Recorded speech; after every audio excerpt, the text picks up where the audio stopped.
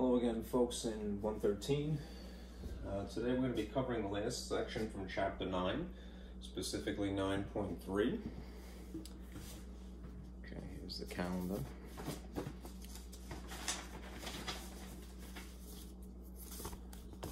Okay, where are we? Today is Thursday, April 8th. So as per the schedule, we're going to cover section 9.3, right? Good. Okay. All right, the packet that I have for you today is kind of hefty. As an afterthought, I actually uh, just completed uh, another diagram that is not stapled to this, but I think I might include it anyway. Um, anyhow, these are the tables and references that I swiped from your textbook. Um, if you read these, all right, uh, you should be well acquainted with the material. I threw in another one of my empty diagrams just because there's some terminology I want to um, nail down and specify. Uh, here's more of that from the book that is pertinent, pertinent right? And then there, there are the examples. There are six of these. And I left the solutions here, so in case you don't see this, you can in fact read this. All right, I'm gonna go through, uh, ideally the whole six of them. And when we get to number five, I just did this this morning, um, just to help uh, walk our way through it. I actually made an extra diagram. It isn't important, really. It's just a drawing um, to emphasize some features. All right. Um, and question six, there is a reference to having to construct a table. All right, this is easier said than done. I mean, pardon me, it is. It, it, it sounds complicated. Uh, it's vice versa. All right, but uh, it's actually really easy. All right, so I'm going to just show you how to do that, and then we'll be finished. Okay. Um, now, to give you uh, an idea of where we're at, especially if you missed either of these two, all right, we're doing uh, section 9.3 today, which is why I put this in red. Um, the material to this point all right, uh, has consisted of the following. All right, in section 9.1, all right, uh, the subject of mathematical systems uh, was brought up, was discussed. All right, and mathematical systems are something that are basically a set and an operation. Right, they would use more precise terms, binary operation. Yeah under so, right?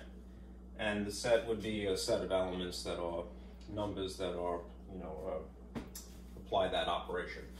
Um, then there is the the topic of a more specific condition, uh, whether you have a group,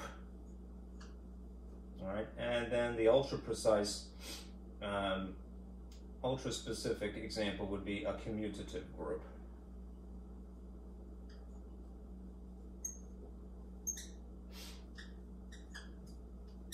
Okay, so that should be, um, you know, take some getting used to naturally, but that's old news. Right. Um, last time, uh, we got into the subject of finite systems.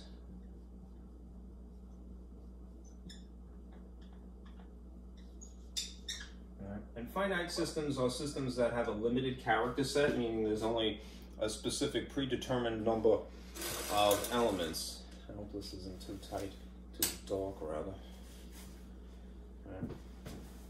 Um, this is uh, section 9.1 was essentially systems in general, which could include infinite systems like the natural numbers. Right? But finite systems have um, a limited uh, set.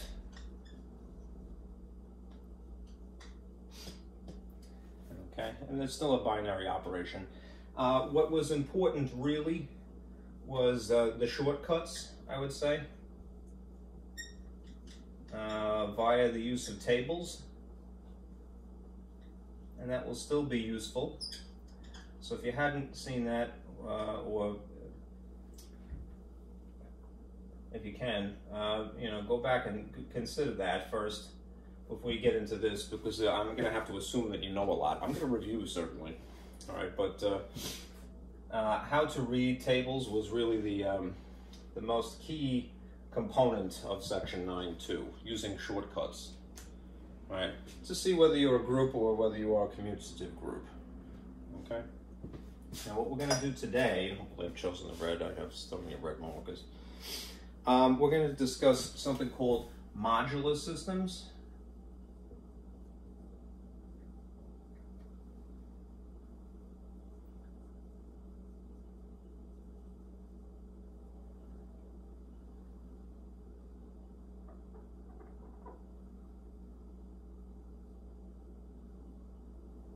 or in the content, uh, the parlance of this book is modulo. I like to say modular. I don't think there really is any sin in that, but these are called modulo systems. All right, specifically, they are finite systems.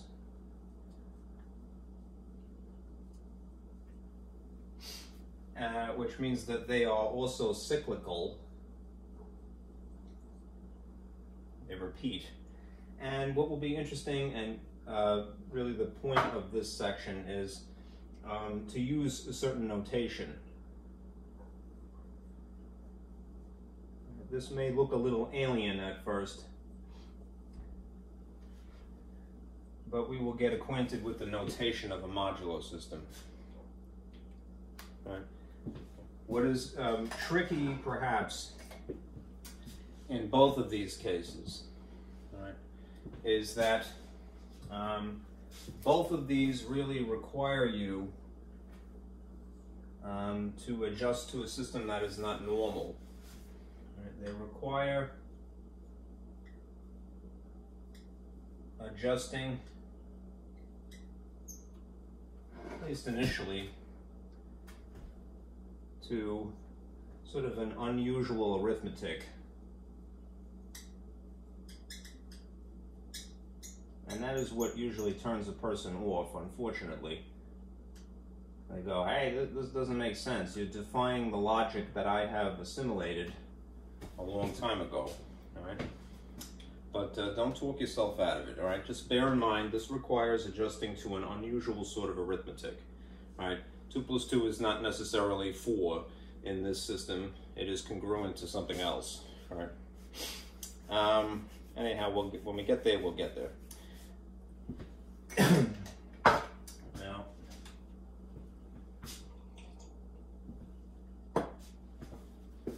what we can do is um, translate into this new notation.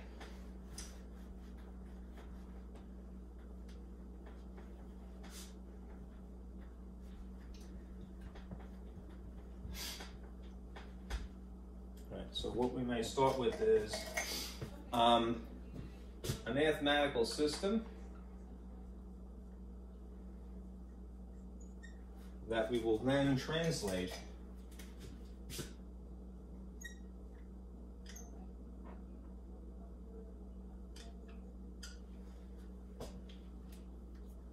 um, to this modulo system. It's really just the notation that we're translating.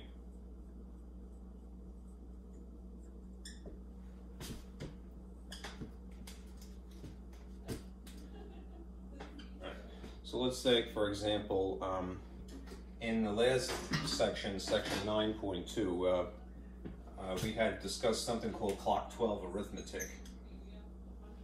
Right, so if you had uh, what is referred to as clock 12 arithmetic, which is really just adding in a set of 12 characters uh, 12 elements, right? The set look like this. One, two, three, four, five, six, seven, eight, nine, 10, 11, 12. That's pretty intuitive, right? We're talking about clock 12 arithmetic. Here are 12 elements in the set. All right, meets the first requirement of a system that you have a set to begin with and then the operation under which uh, this would occur um, was uh, addition.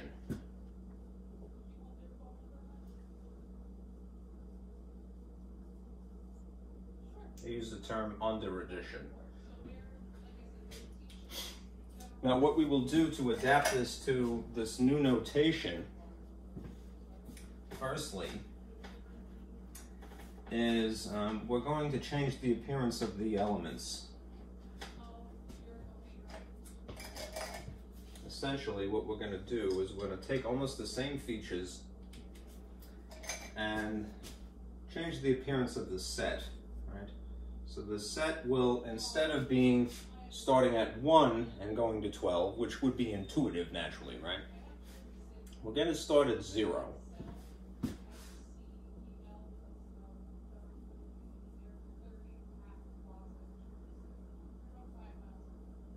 And then stop, therefore, at 11. All right, so because you're starting at 0, you're incorporating 0, there are still 12 elements here. All right but we're going to start at 0 and end at 11 in this instance. The operation will still be addition. But the real change is occurring here. All right. The abbreviation that you are going to see, all right, that is in reference to this um, altered form of the elements, the set of elements, is that uh, we will call it a modulo 12 system.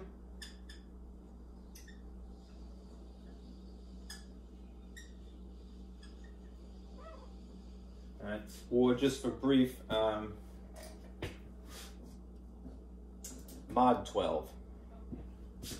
So the notation that you're inclined to see referring to these situations in tandem these conditions in tandem is that you will simply see the word mod as in modulo, as in modular, all right, and then the number 12 after it. Right? Mod 12, all right, basically be implying this condition and this condition, right? Under addition.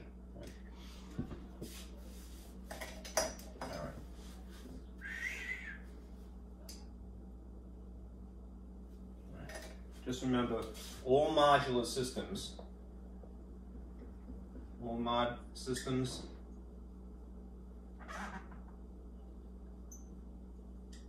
begin with zero. Okay?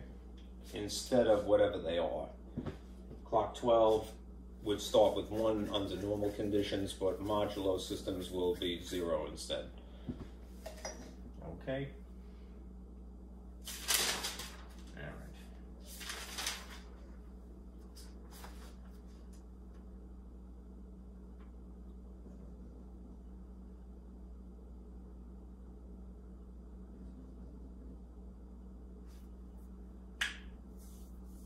Here's a, a sort of um, a model.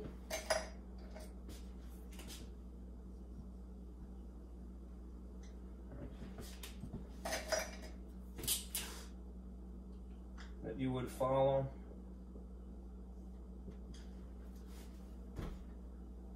Um, whatever modulo, and it's usually abbreviated M, system because it is a system that has to have both of those conditions met, right, it'll have m elements, right, meaning the character set, again, would look like this. 0, 1, 2, 3, whatever it is, up to m minus 1. Right? In the last example, again, if it was 12, 12 minus 1 makes this 11, right? And any other system, it would be the same thing. It would be one short of whatever m is, okay? And then the binary operation.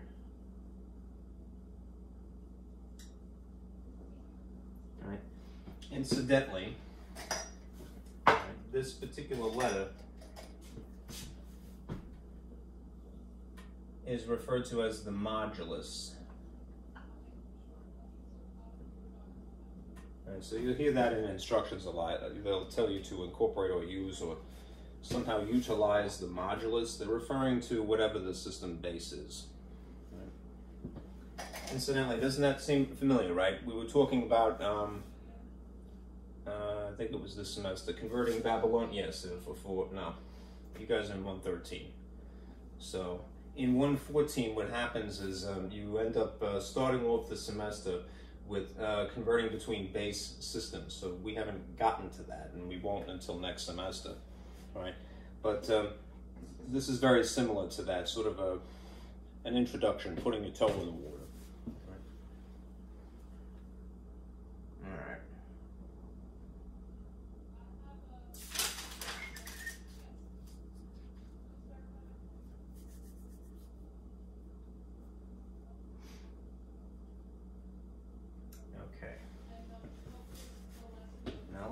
This and we'll do an example uh, to illustrate the point.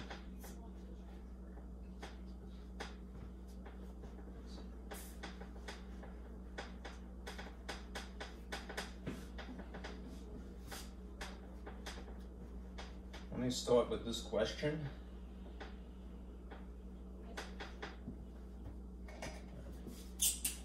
Here's a question this is visible. Let me turn around and look. Looks like green is okay, right? Question. If today is Sunday,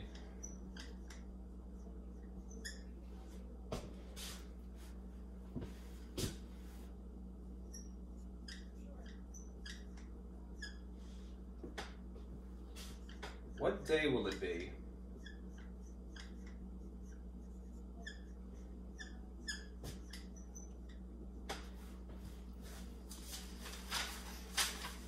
23 days from today.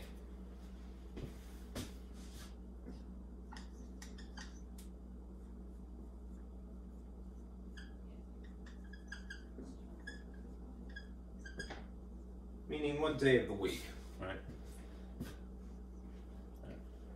Is that legible?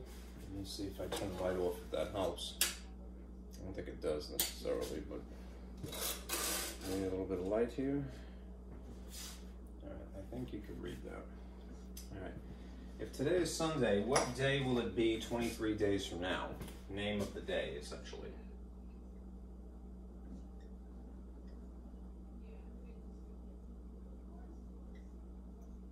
All right. A person could naturally take out a calendar, all right, and then count 23 days into the future. But when you're con confronted with this type of a question, this is a good example for introducing the concept of a modulo system. All right, there's basically to answer uh, three techniques you might employ. Right. Three methods, if you will. And we'll do basically each one. All right. There is to basically draw a clock, right? A funny clock and we'll do that first. It will be funny in the in the context or in the sense that um, it won't have uh, 12 on it, right? 12 uh, digits around the face, right? It will be a, a, modified version of a clock, right? This will be, shall we say, example one. Okay.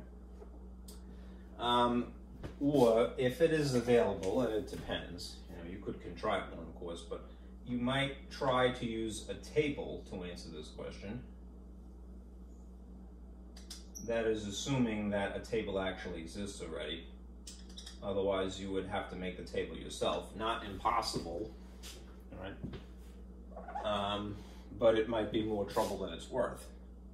It might take up more time?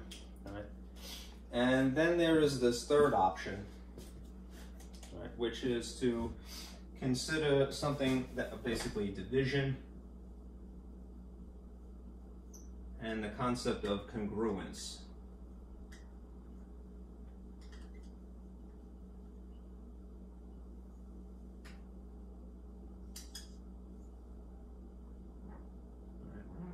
I'm going to walk you through basically all three instances of it. in the end, I don't really want to corrupt your opinion. This is really what you're going to do uh, for practical reasons because it's um, it just involves uh, shorthand uh, abbreviations, writing, all right, without having to craft a table from scratch or draw a funny clock, all right. But this is probably the most intuitive way to think about it.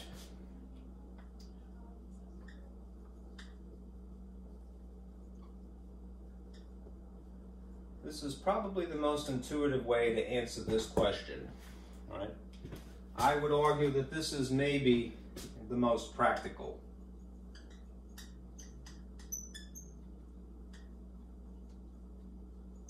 Right? Having a system established, a modulo system, right, the subject of the, the of section 9.3, right? Um, but you'll have to be adapted to it first. Okay? Now, um, let me show you what I mean by a funny clock.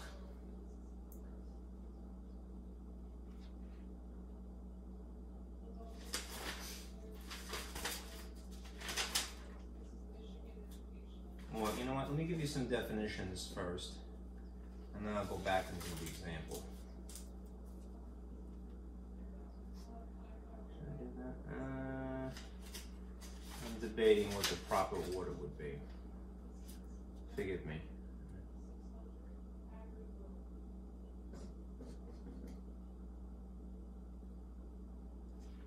Let me show you the, the, the, clock way of doing this. All right, I may have to unfortunately erase what I just wrote here because I need the space.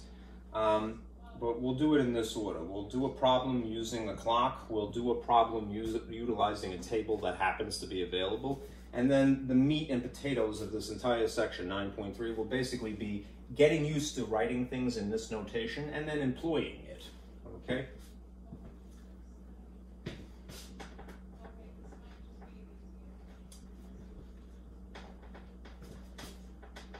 Employing that technique, utilizing that technique. Okay. All right. Now, what we would do in a situation like this, the clock way of doing it,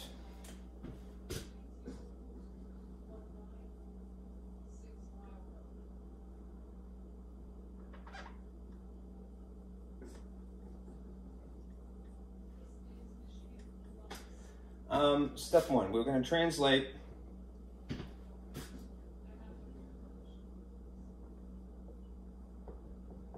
days of the week into numbers.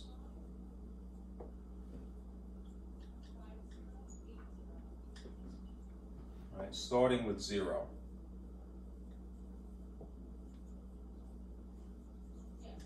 Okay. So um, maybe I'll put that over here. Sunday is going to be zero. Monday is going to be one. Tuesday is going to be two. Wednesday will be three. Thursday will be four.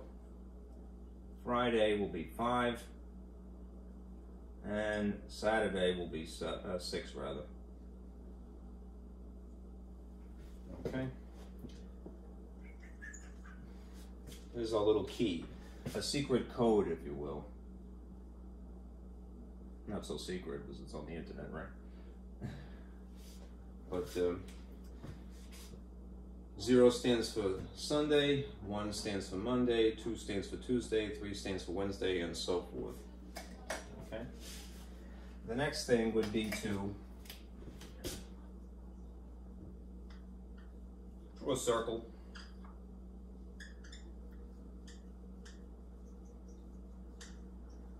To represent the clock face. All right. Um, I had the good sense to basically make a stencil all right, as a teacher, undoubtedly, the, the, I'm just forewarning you. Right, in your profession, your chosen profession, uh, um, you'll be making a lot of stuff out of garbage, recycled dinner, if you will. Don't eat it. All right, but uh, I made a stencil. Took a plate, cut it, cut it out of a pizza box, and so forth. All right, anyhow, Uh, let me use a different color just because I think it would contrast a wee bit better. So, uh, green? No, green is lousy. So, I'm use black. Good reliable black. Um, alright.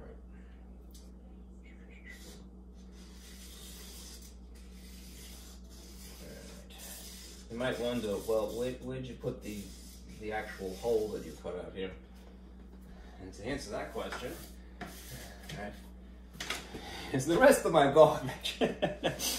Isn't it fun? I love actually.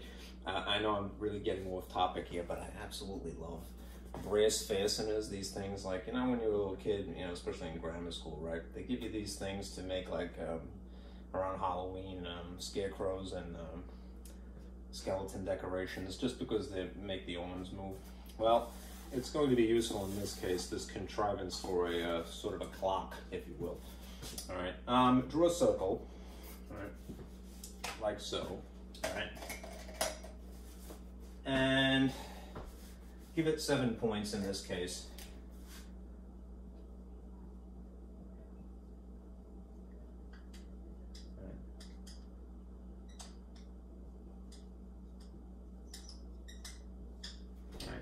So what I'll do is, um, I took the time to try to measure these out because I was being very uh, twitty, you know.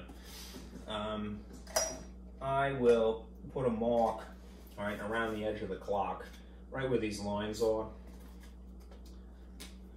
It's the kind of thing that you have to plan ahead, otherwise you gotta get out a protractor. Look, I even made a handle.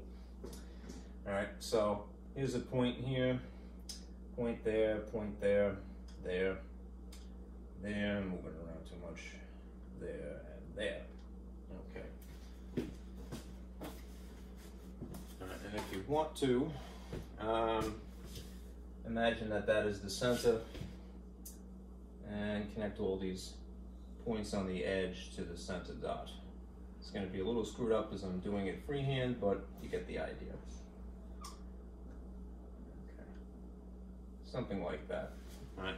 Now, in theory, right, instead of it having 12, 1, 2, 3 written around the edge, our um, fake days of the week clock, right, which only measures days in this case, all right, would start with um, Sunday, Monday, Tuesday, Wednesday, Thursday, Friday, and Saturday.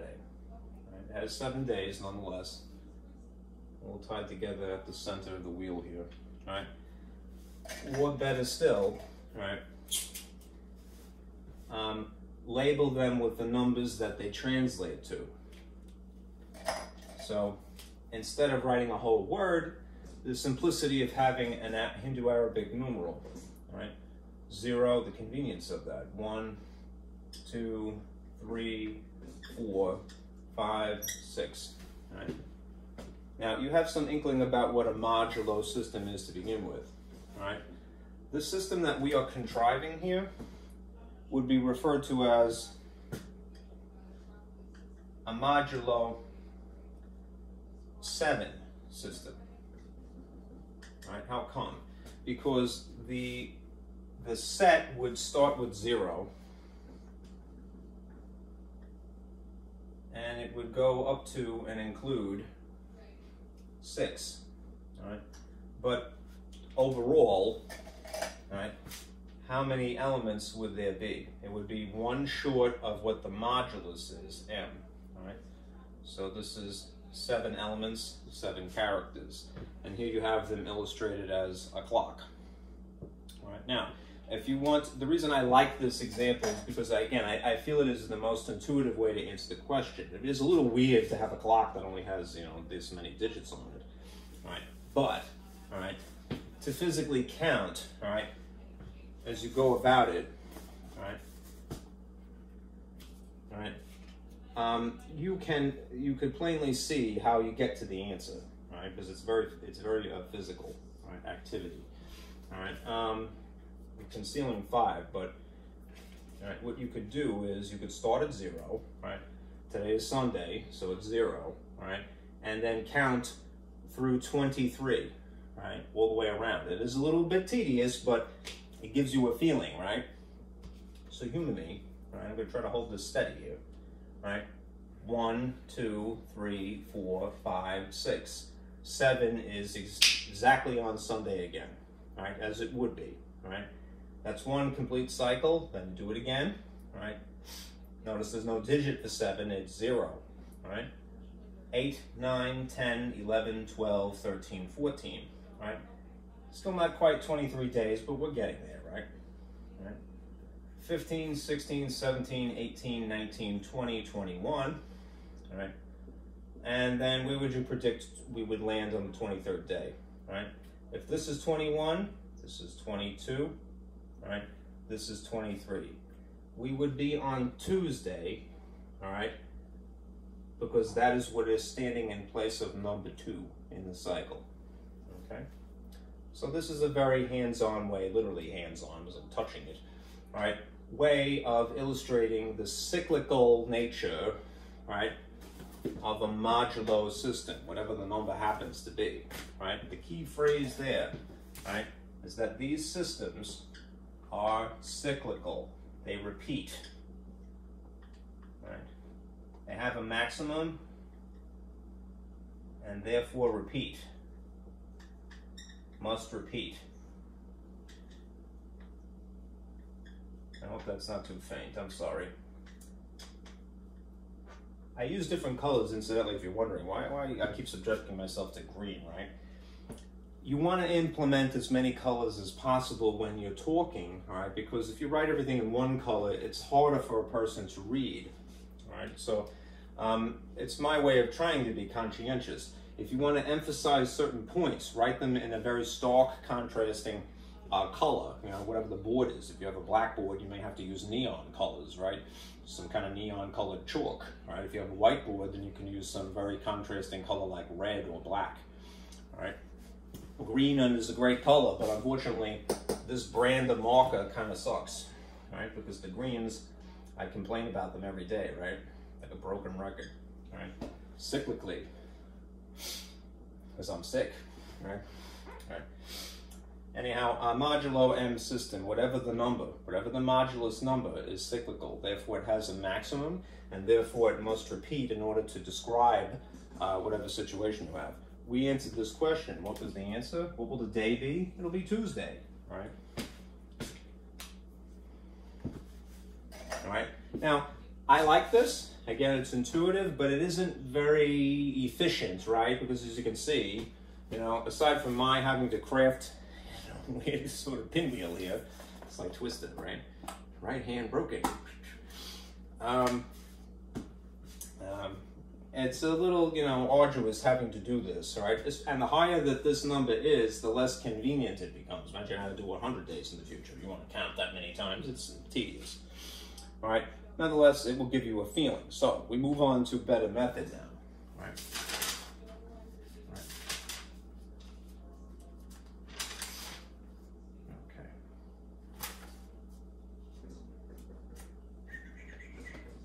Um,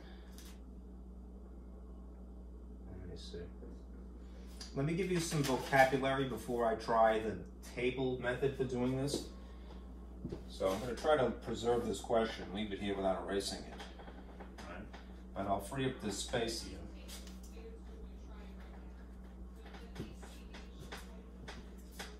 You already know the answer is Tuesday.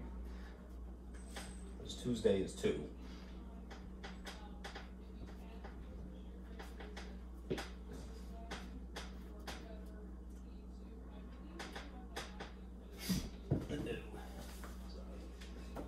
Um, let me pull up my projection here.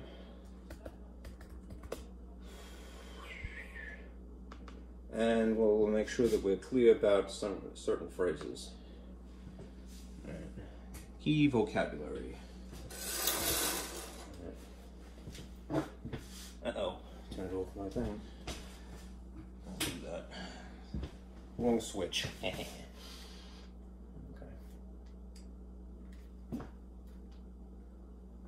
sono. Ok.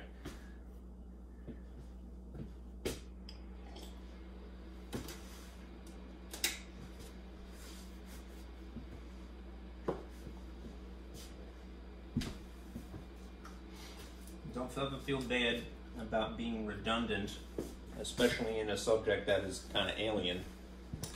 Repetition is your friend. Um,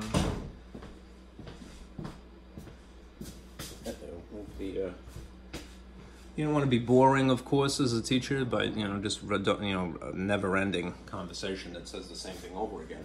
But try to present something in different ways, right? Because it will reinforce the concept. So I mentioned this before, and I'll do so again. Right? There's this thing called a modulus, right? A modulus is represented by a little lowercase m. I'm stylizing it to make it look script.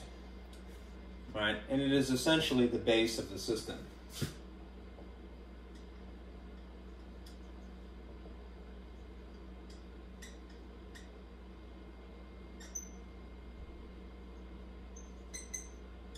that phrase base, right, will be important immediately when you return, uh, maybe in the fall, uh, for MAT 114, right? We're at the tail end of 113, right?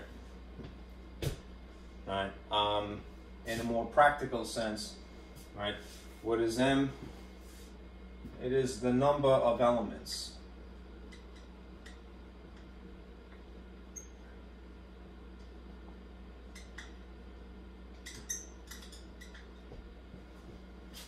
Okay. Then we're going to discuss eventually this concept. This is really key. Congruence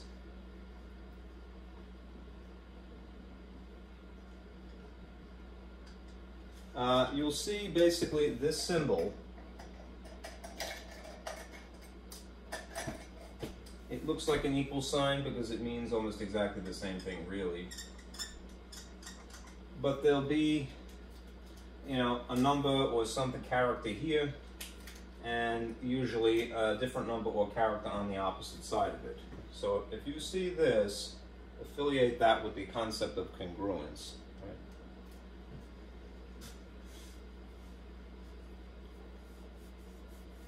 Right? Right. Essentially, what this means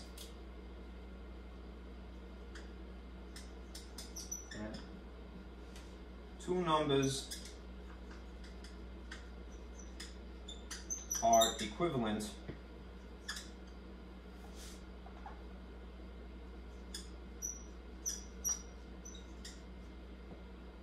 if they have sorry that's a little bit faint right the same remainder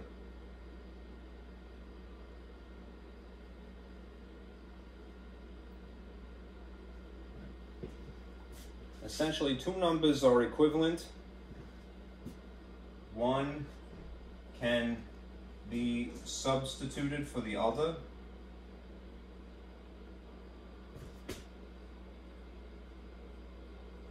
Essentially, if this condition is met, all right? If they have the same remainder, which means that since remainder is part of the discussion, you would ultimately have to divide to identify whether they have these, these two numbers, whatever they are, if they have the same remainder. Okay. Um, the very formal way of talking about it you have in this packet. So I'm just going to point to it first and then I'm going to give you my own spin on it because I, I like the way I've described it. All right. The concept of congruence can be found in the second page in the references, all right, in this yellow box okay? They use the abbreviations A and B and M, all right? All right, and this is the relationship here, all right? With all its um, modulo glory, in all its modulo glory. Now, um, what I like to do is to write it like this. I'm a little short on space, so I'm going to continue on the red here. All right. A is congruent to B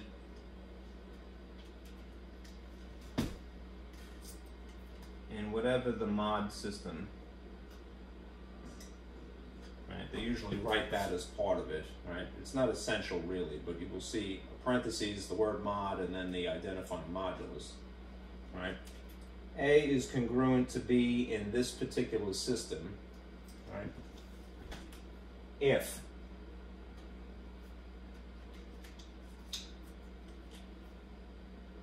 A divide by M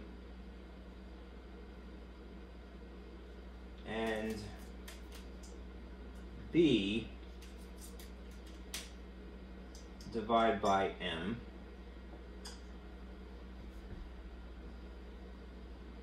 have the same remainder.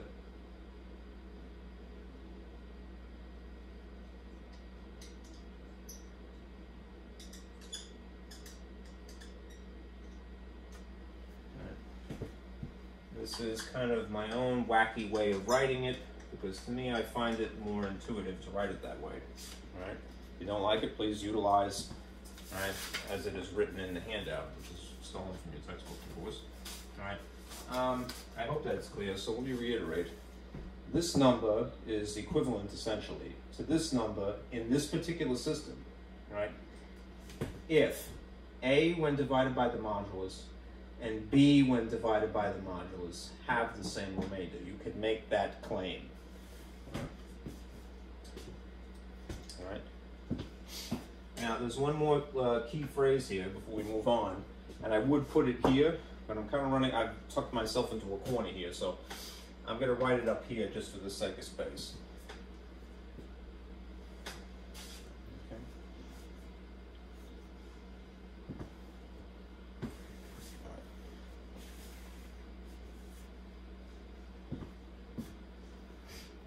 um, you will hear the phrase modulo class.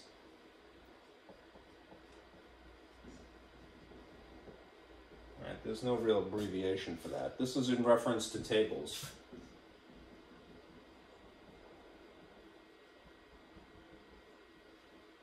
Okay.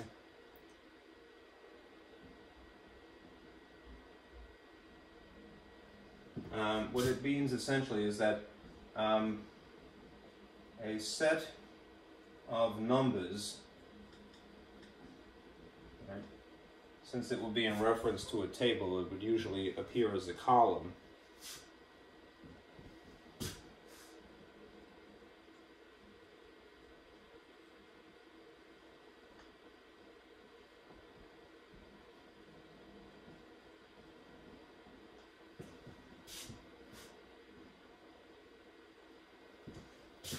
um, that all share the same remainder.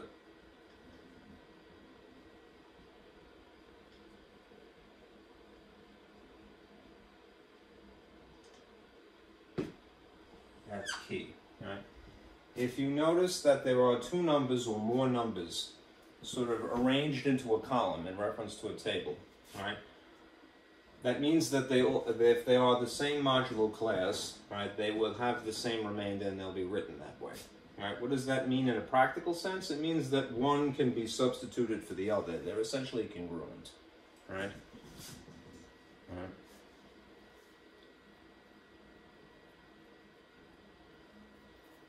Okay.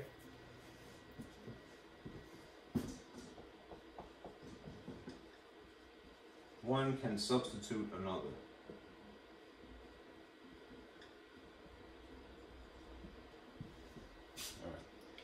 Um, those are the key phrases that you want to have know by heart, or at least have a grasp of. All right, so um, let me modify the question. Um, what day will it be? You know, such and such days from now, to illustrate how to read a table. All right, so I'm to turn this off.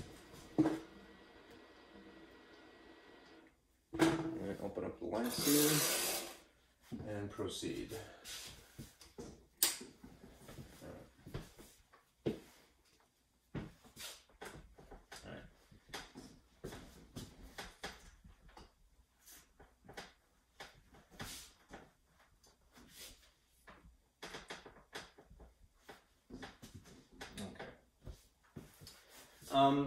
Let us take a similar question. All right. All right. If today is uh, four,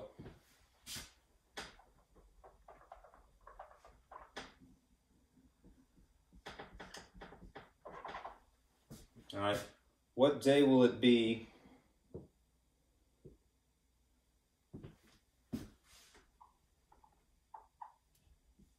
six days from now. Right, the name of the day. Right. Right. This is meant to illustrate um, this situation. Uh, method two. Right, utilizing a table.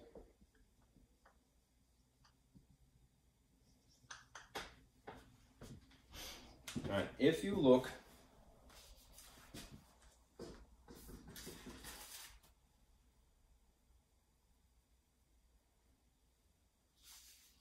if you look in the handouts at the very tippy top of this page, uh, the first page here, right. maybe I will project that just because if I can expand it. You could, this is an established table for a modular 7 system.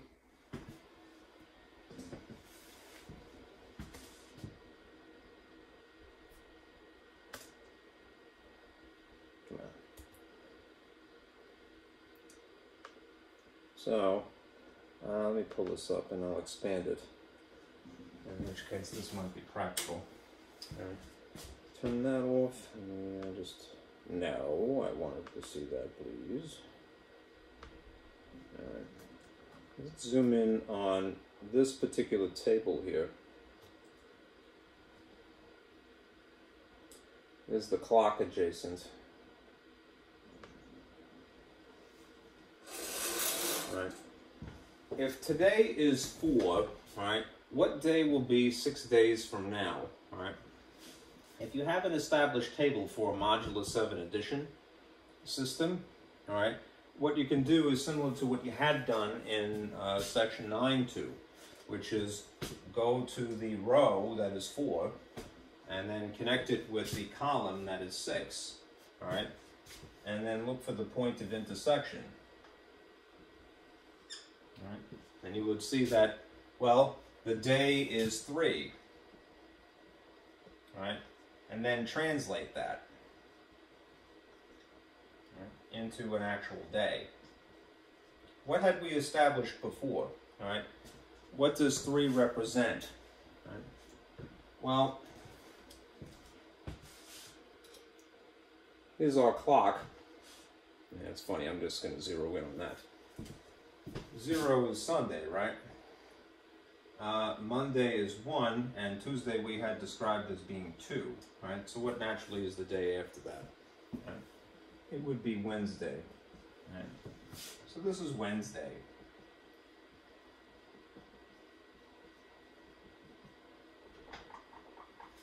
Right? Not too shabby, right? The only, and that would be arguably the most efficient way to do this. You don't have to draw a clock, right? You could just get right to the number, and then as long as you have the key that zero is Sunday, one is Monday, two is Tuesday, and three is Wednesday, you can answer the question relatively quickly. Um, the thing is, you don't always have a table, you know? So it would be better to contrive a, a system that is uh, flexible, all right? And in that regard, then we will do things uh, third method here. Right, uh, taking advantage of division and congruence.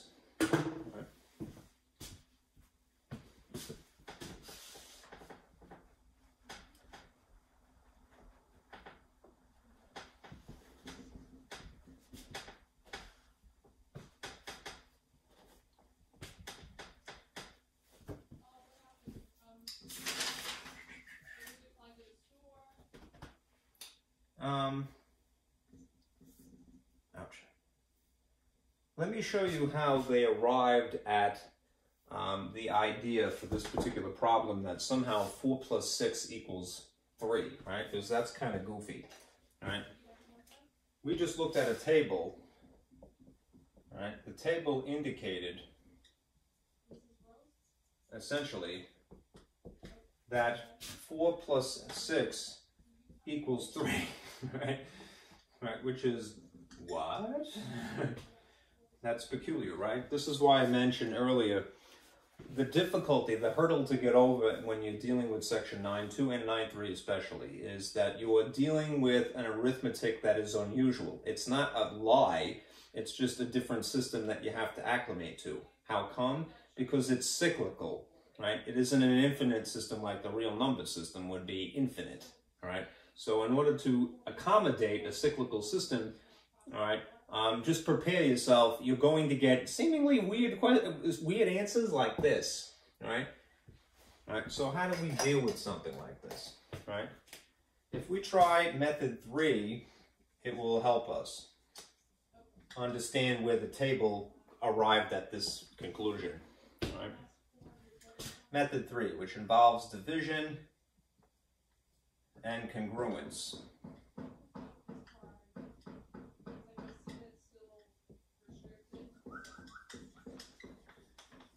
Okay, um, what you would start with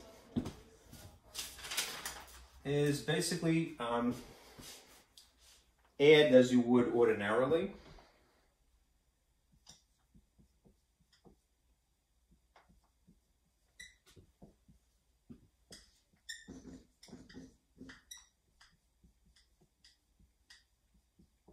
Right, so in the case of this uh, 4 plus 6, right, what would actually be under normal conditions 4 plus 6?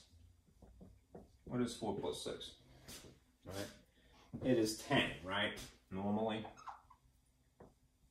Most people would accept that, right? This is the way that we've all been taught to this point, right? But then ask yourself, right? 2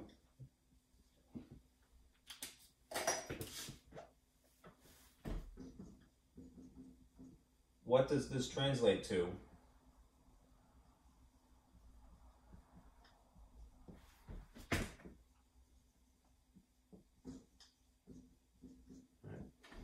And in this particular case, it's a modular 7 system. In mod 7 system.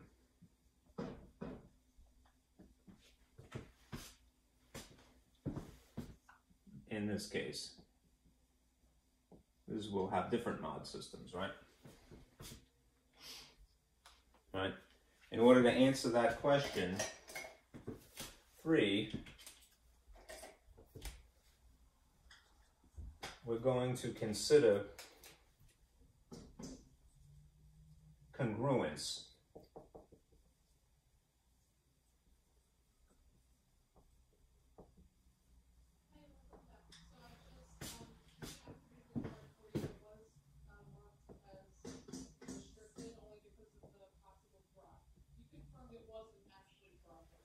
Okay? So, how do we consider the congruence? We're going to divide, okay? So, let me erase this because I need the space.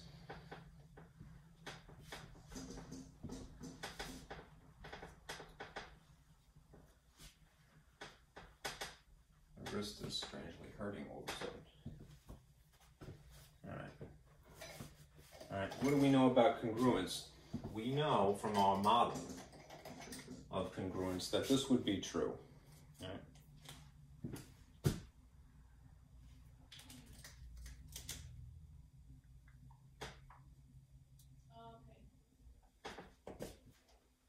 A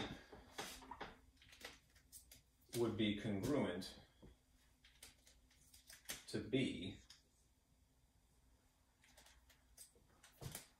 in a mod M system, right, if A divide by M and B divide by M have the same remainder.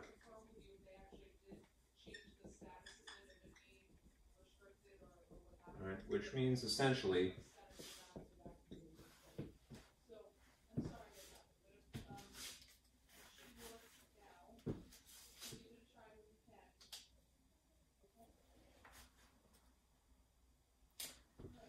A can be substituted for B in mod 7 or mod, mod n, right? What I'm just going to do is basically substitute the values that we have here, right? Under normal circumstances, right? Right? This is, um, this would be A, okay? So in place of this 10, right, I'm gonna, of A, I'm gonna superimpose a 10 on it just to uh, emphasize this particular example, right? 10 can be substituted for B. The claim is that it's 3, right? Right, according to the table. Now let's see if that's actually true, right? Um, this is the claim officially. 10 is congruent to 3 in a mod 7 system, right? If 10 divided by 7 and 3 divided by 7 have the same remainder, so we'll do that to prove that point. All right, I'll write them adjacent to each other here.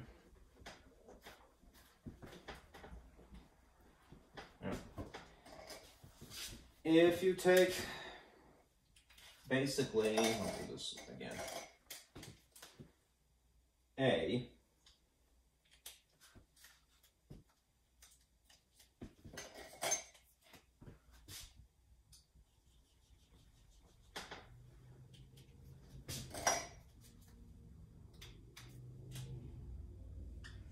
and B and divide them, I'll do them in the uh, sort of the, the division box kind of style of writing it. And divide them by m in each case. We'll see what the remainders would be. This is essentially the goal here. So um, here's 10. And here's the division box.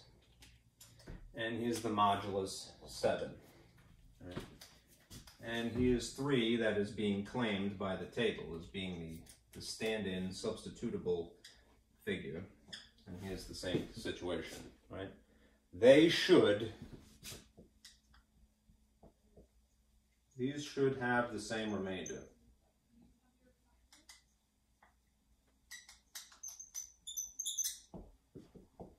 Right? This versus this, okay? So let's see. Um, Let's see if this green will be a nice alternative, not to confuse it with anything else. How many sevens can you squeeze into 10? Right? Just one, right? We don't really care about the quotient so much as we care about the, the portion of the quotient that is actually the remainder. But here is the minutia. Here's the fine details of what would happen, right? 1 times 7, you would plop a 7 here. 10 minus 7, you would get a 3. And we're not doing decimal division or even fractions. We're doing a basic division, which is just to write the letter R for the remainder and then whatever this last digit is. All right, so the remainder would be 3 in this case. All right. Now, when you get over here to this part, all right, you'd say, um, how many sevens can you squeeze into 3? All right, and the answer to that question is, weirdly, what? Well, you can't, right? That's too small, right? the, the dividend, the thing on the inside, is too small. That doesn't mean it is um, impossible, especially if you were, were doing decimal division. What you would do to tide yourself over is to say, well, I can't fit any, so I'm going to put a zero here, all right? And then just as before, 1 times 7 is what you write here, all right? It would be 0 times 7 that you would put here, which is just 0 itself, right?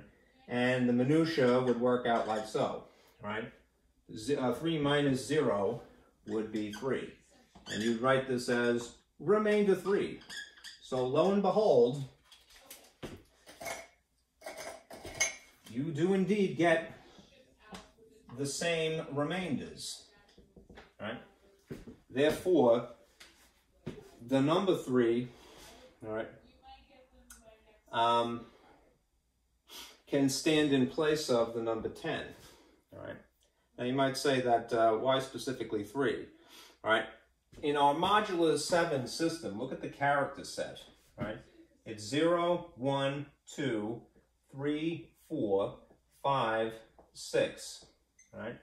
This is a mod 7 system, meaning it has seven elements total, starting at zero, and in this case, it's one short of the modulus always, so it would be six.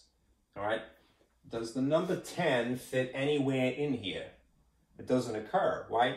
Because it it is uh, it, it maximizes at the number six, all right? Before the cycle even begins, you, you, you go up to six and then it stops, right? And then you must go back to the beginning again, right? It's cyclical. So you can't use 10, right? That is why you need a substitute, right? Now, again, in keeping with um, uh, this idea of uh, modular classes, right, let me blow up this other portion of the references that I have for you. You'll see, yeah, you'll see this page right? And it has ellipses down at the bottom.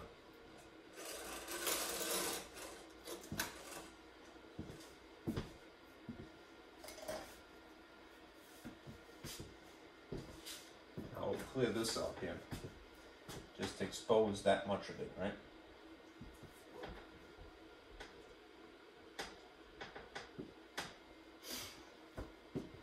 This is a table illustrating modular classes. That is things, uh, numbers that are arranged in a column, right, uh, that have the same remainder, right, for modular 7 specifically.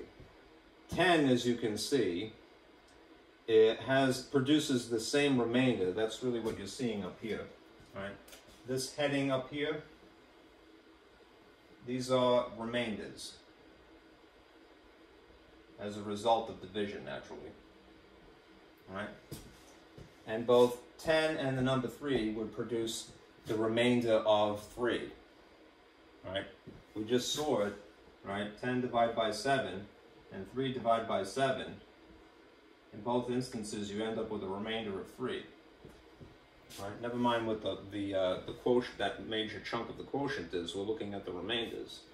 Right? That is why this can be substituted by something that actually occurs in the character set, right? We will use the number 3 instead of ordinary 10 to make it conform to this particular weirdo modular system. Okay? I know it's a little alien, and don't feel bad if you, you know, go, what is this nonsense, right? It takes a little getting used to. The more that you do it, the more it will make sense, right? It's only natural. And now the advantage of, uh, of this is that you can perform ordinary arithmetic, right, and then just translate, right?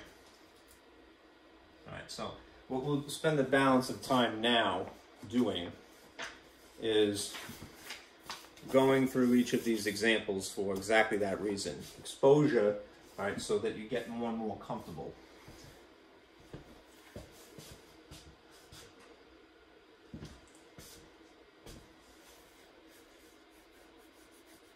Um, let me turn off my projector and I'll try to abbreviate uh, the instructions.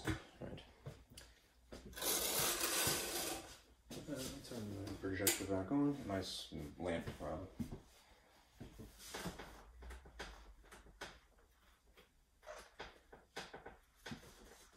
Okay. This uh, official first example we did technically already, but um, this official first example has three parts, so we only have carpal tunnel out of nowhere. I'm going to do what I am inclined to, which is uh, partition the board here. So I can get away with doing three things I keep myself in check. Okay. Uh, this will be example one on the handout, which again is from this packet. And essentially the question is, um, which number from the set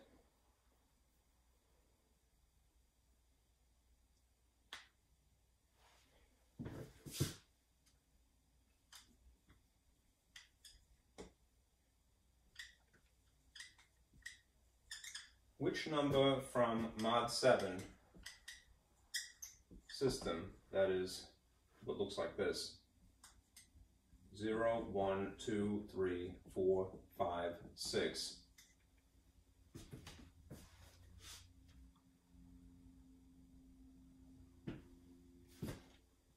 are the following equivalent to?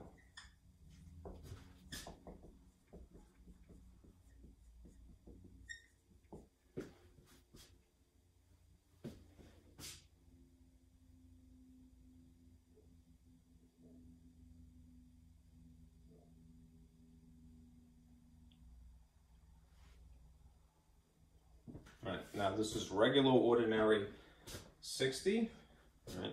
regular ordinary 84, all right, and regular ordinary 412.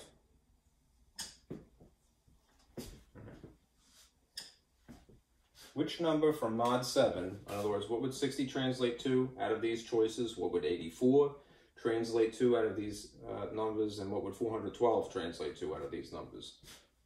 All right what we're going to do is essentially, in all instances, divide by 7. Right?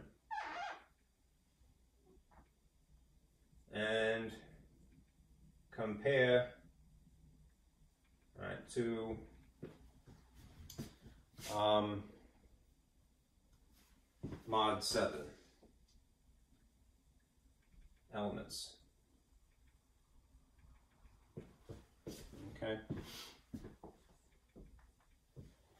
All right, so in this first instance, you're going to take 60 and divide by 7. All right, the traditional box style of writing division. In the United States, we orient it like this. Um, 7 goes into 60 roughly how many times? All right, 8 times, right?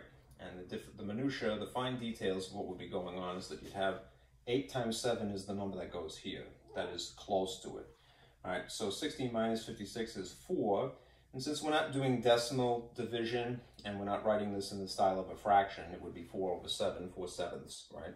We're just going to simply go, all right, well, this remainder is 4. All right. All right. Um, does this character show up, this element, show up in the system here? It does, all right? If you wanted to, I mean, you could test it to see, all right, I'm going to divide 7. Uh, this is a bit superfluous, but just so you don't worry, I'm, this is the only reason I'm explaining it. If you were going to go and test the number 4, all right, 7 uh, uh, divided into 4 would be 0, right? And then 0 times 7 would be 0, and you subtract and you would end up, regardless, with the same remainder, right? So, how do you answer this in a very fancy way? Right? You would say 60 is congruent to 4 in mod 7.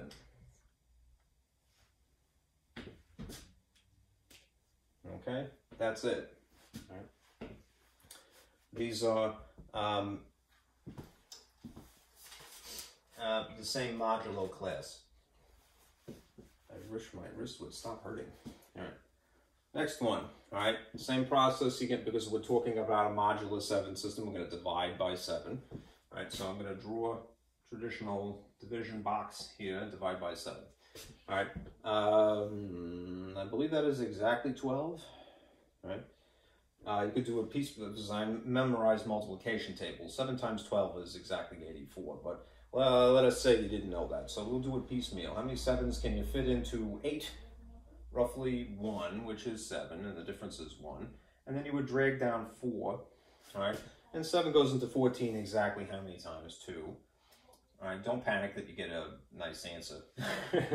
Normally we want a nice answer. There's something that is perfectly divisible, right? Uh, 14 minus 14 is 0, right? which means what? That the remainder would be zero, right? Does this character show up in here? All right, it does, right? So um, that means that 84 is congruent to zero in a mod 7 system. Okay. One more of these.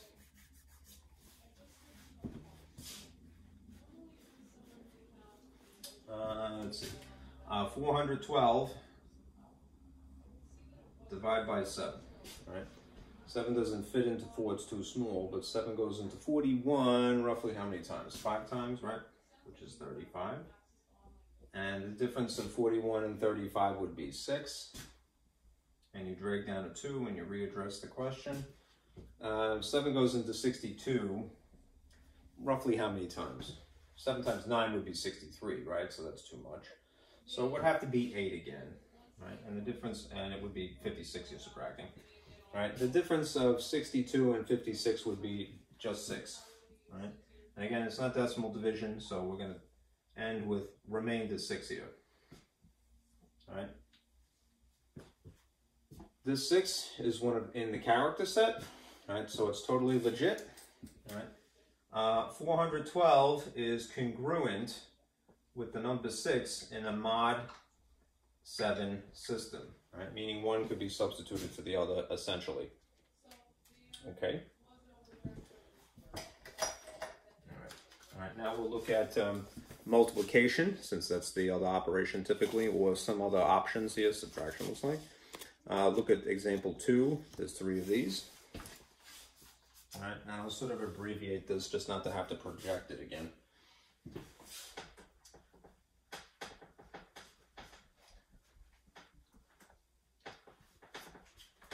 I like to project things, but um, uh, I am a little worried because I bought this that the bulb is cheap. and it's not going to last me. And it's a nuisance to turn it on and off, of course. Because it takes boot up time. Anything to slow you down. Right. Um, gripe, gripe, gripe. All right. Um, here's example two. Uh, this says to evaluate. Eval is usually the abbreviation in math speak, right, to evaluate, which means do the actual uh, operation, right? Evaluate each of the following.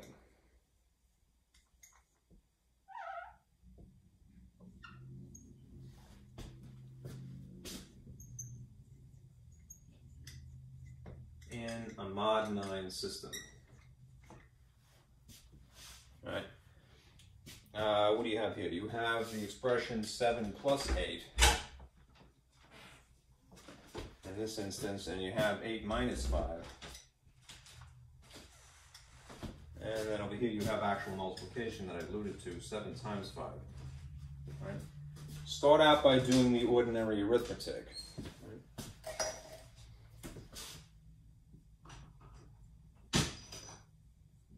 The ordinary arithmetic. Right. Right. Then translate to mod 9, right? What does that entail doing? Well, we're switching things up here, folks, right? So we have been doing modulo 7 to death now, right? Mod 9 is we're going to be dividing by 9, right? And then comparing. to the character set. Uh, if it's modulo 9, right, remember we're going to still start at 0. So we have, I don't have a lot of space here, but what I'm going to do is I'm going to write this here. 0, 1, 2, 3, 4, 5, 6, 7, 8. Remember, it's always one shy of uh, the actual modulus 9, right? The identifying uh, system base right? In this case, we'll, we'll start at zero and we end at eight, right? There's still nine characters total, right? All right. So in this instance, right, what is ordinary um, seven plus eight? Ordinary seven plus eight is the number 15. Right? 15, as you can plainly see, is not one of the characters in the modulo 9 system. So Uh, we can't use it, we need an equivalent, right? How do we arrive at an equivalent? We divide by the modulus and then compare it to the set here, right? The remainder. Compare the remainder to the set. So here is ordinary division of 15 by 9 in this case, right? 9 goes into 15 roughly how many times? One time. Right, that is 9. And the fine details here would produce a 6. Right? 6 is the remainder. Right? 6 is one of the characters in this set. So what we would say, and it might be a little weird to do this, we're normally used, at this point we're only used to having a regular number, never mind an algebra, pardon me, an arithmetic expression, but what you would say is, okay, the expression 7 plus 8, that is congruent to 6 in a mod 9 system. Okay, that is the solution, essentially. All right, next one. Uh, what would you get in this case? All right, Uh, do the ordinary arithmetic. What is 8 minus 5? Um, it's just 3, All right. Before you attempt to divide, you know, you could space, it isn't wrong if you do. You'll end up with the same result regardless. But um, look at what you have here. You have the number 3, right? Is the number 3 already in the character set? It isn't beyond the, uh, the, the, the, realm of uh, mod 9, right? So you really don't need to do this, right? you could, right? You could take 3 and then divide by 9, and you will logically get through it the same way. 9 won't fit into this. So 9 times 0 is 0, and you would still end up with a remainder of 3. Okay? So what does that mean? The expression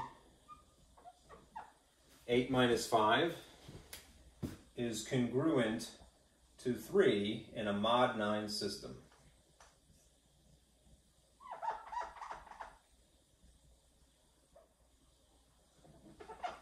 Okay.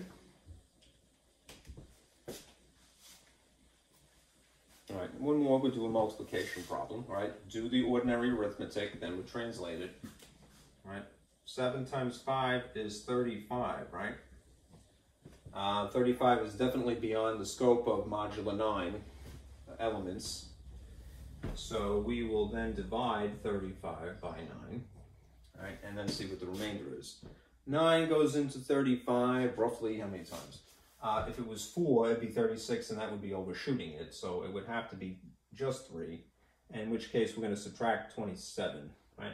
Notice something, that's a uh, beat a dead horse, but um, the reason that I can get through the arithmetic is really just because I have multiplication tables memorized, which is why you folks that are in the, the you'll be in the position um, uh, teaching elementary school students or maybe middle school students, please make sure that they memorize that, right? In spite of what anybody tells you, all right, it's really imperative for, you know, for uh, strategic thinking, All right. So anyhow, uh, what is the difference between uh, 35 and 27? It should be 8,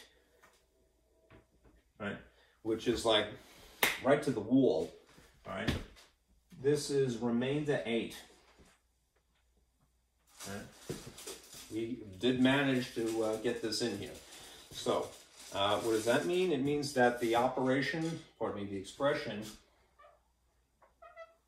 of 7 times 5, let me just not to conflict with this, um, is congruent to 8 in this weirdo modular 9 system.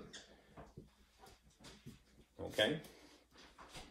This is the solution here for part B, and this is the solution here for part C.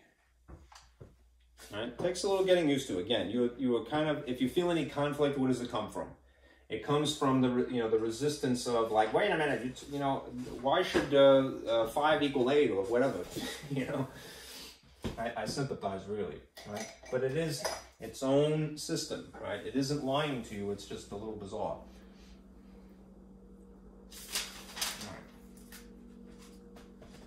All right, what are you going to see now uh, for example three?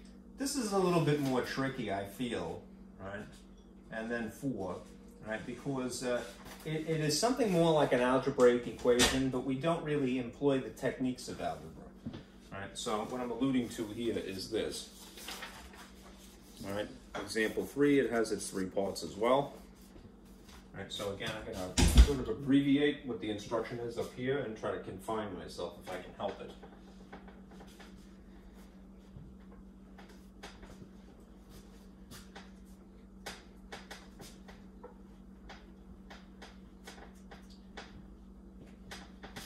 I may have to put back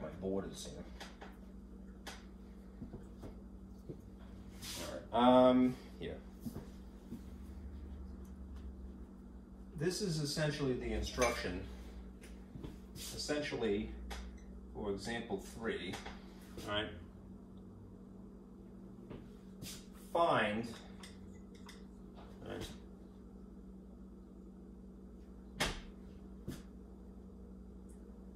the positive number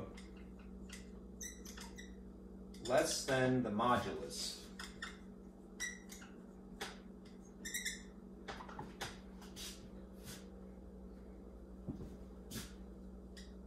that would make each statement true.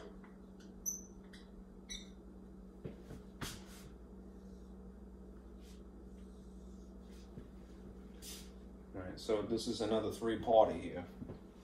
In this case, you get um, a bunch of weird stuff. So let me write it first. Right, you end up with an expression 3 minus 5 right, as part of this um, statement about congruence, where the question is here in a mod 7 system. Right? And just for contrast, what you're going to see is the question, uh, the void will be basically moved around in these other subsequent examples. So um, in the second example, you'll have to look for the, the, the number that should be sitting here. Minus 4. That is congruent to 3 in a mod 5 system. And then the question here.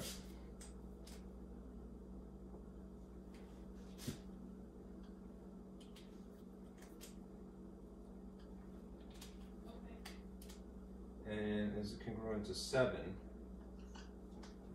in a mod 8 system. Okay. Um, you're gonna, this is a little, like the first one is mostly straightforward, right? It is just an example of the type of problem that you had done just a few minutes ago, right? The only uh, difficulty here is that when you do the ordinary arithmetic, you're gonna see that it's to give you a negative number, which is not what you're looking for. You want a positive number, right? That happens to be less than the modulus. So let me fill in some voids here, all right? We want a positive, right? And the modulus in this particular example here would be a number that happens to be less than 7, right? So we need a positive n that is less than 7. Right? How come? Because this is the character set. 0, 1, 2, 3, 4, 5, 6 again.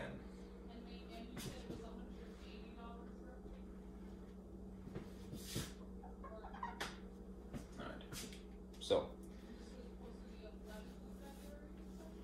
fun fact about this.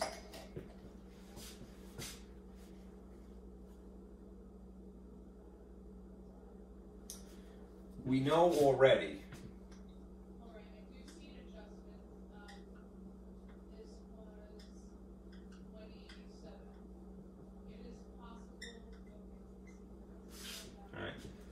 That adding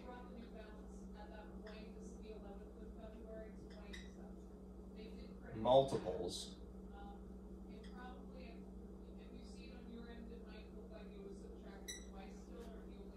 Of 7 in a mod 7 system. Results in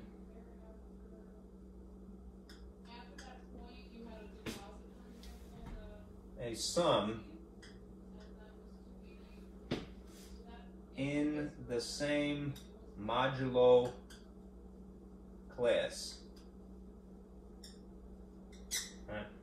Now, just to reiterate that, because that is a mouthful, right? We're going to take advantage of this fun factoid here.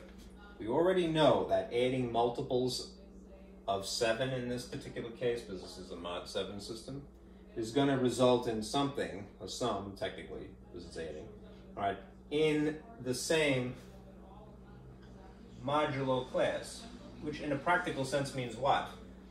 Same remainder, which means what also? Substitutable, for lack of a better phrase,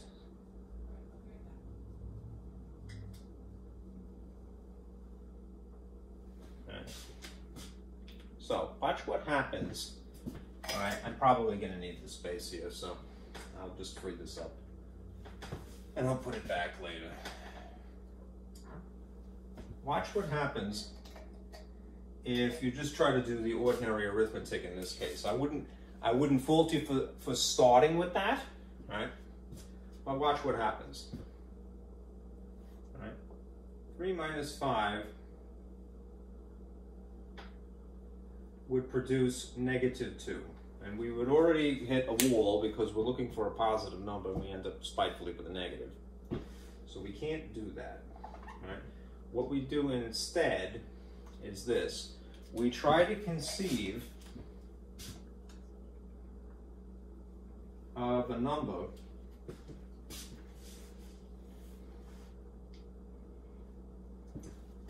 that sits in place of 3 here right? And this will be a sum in this case. That's plus 7. How come? Because we need to basically remove this. We need to substitute because this 3 produces a negative. So we're going to take advantage of this. By adding multiples of 7, right? Seven plus something, we haven't identified it yet. Right. We're gonna get something that is in the same modular class, right? Meaning that it would have, these things would have the same remainder, and therefore they are legally substitutable, if that is even a word, all right? All right. Um, if we start with the number here, all right, Um, that's just following this logic. We're going to just add a multiple of 7, 7 to the first, right? As opposed to 7, pardon me, yeah. 7 times 1, 7. 7 times 2 is the second multiple, would be 14. 7 times 3 would be the third multiple, would be 21. We're just going to go with the first one here, all right? What does this produce? What's 7 plus uh, ordinary arithmetic? What's 7 plus uh, 3? 10 if I just borrow what's sitting around here and continue along with this, does this produce a negative number?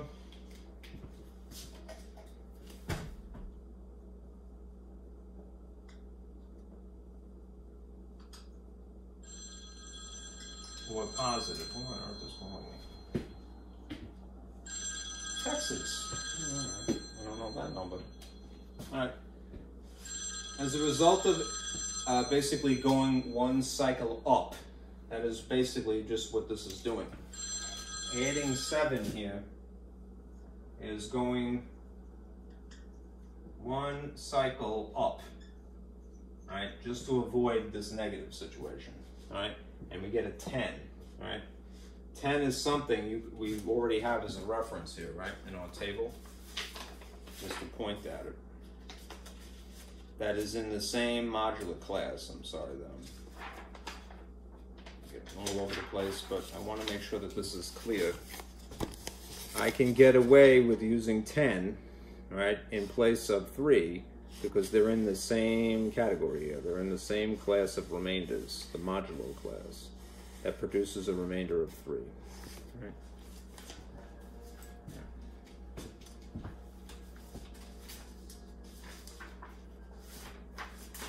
Would this in fact produce a negative or a positive right, at this point? Thankfully, it produces a positive.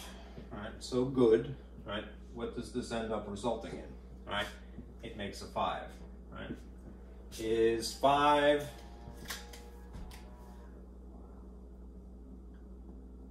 in the set of modulo 7. Right? It is, right?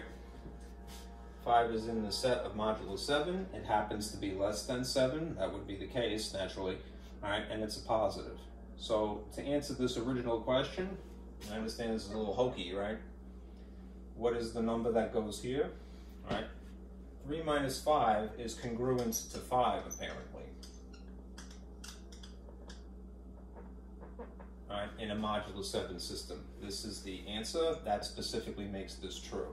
All right. All right. If you feel a little shaky, don't blame, you know, I don't feel bad, right? It, we do a lot of these and then eventually it becomes more intuitive, but you have to have exposure. All right, so we'll do another one, and then another, and then another. Let me free up the space here as the conditions are going to change.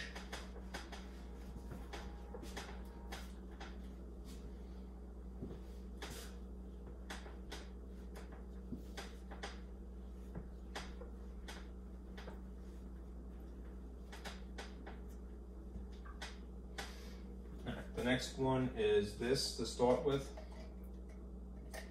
Um, a question here. Let me do it over here just to save myself a little bit of space. Something.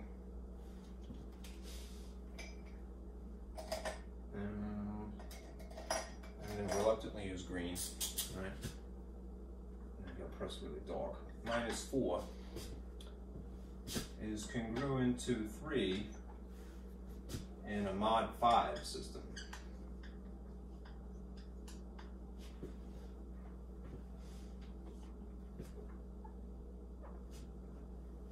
And in this case, we're looking for the thing, the number here that has to be a positive number that happens to be less than the modulus, right? That makes this entire kit and caboodle here true.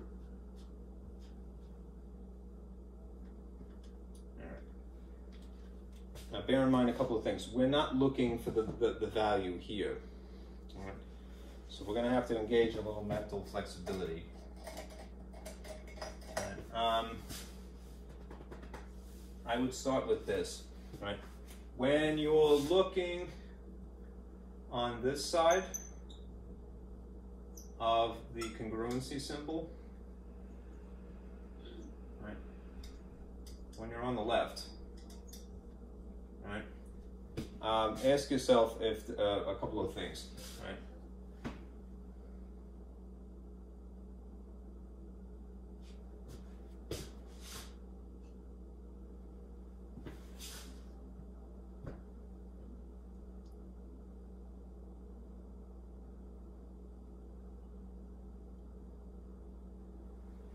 is B,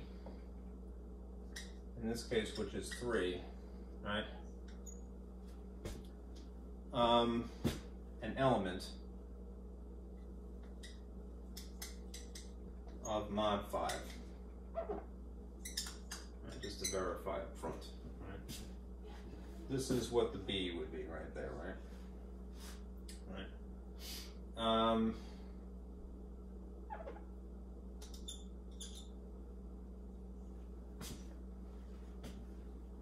Well, let's see what mod 5 would be. It would be 0. Put this in a contrasting color. Mod 5 would be the character set 0, 1, 2, 3, 4. Right? 3 is apparently, you know, an element, right? They don't have anything goofy here, right? right? Next thing would be, in this case, in ordinary arithmetic,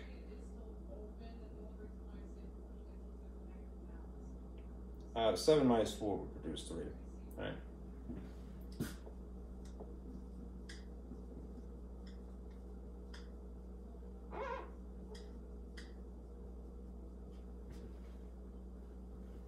What would produce 3?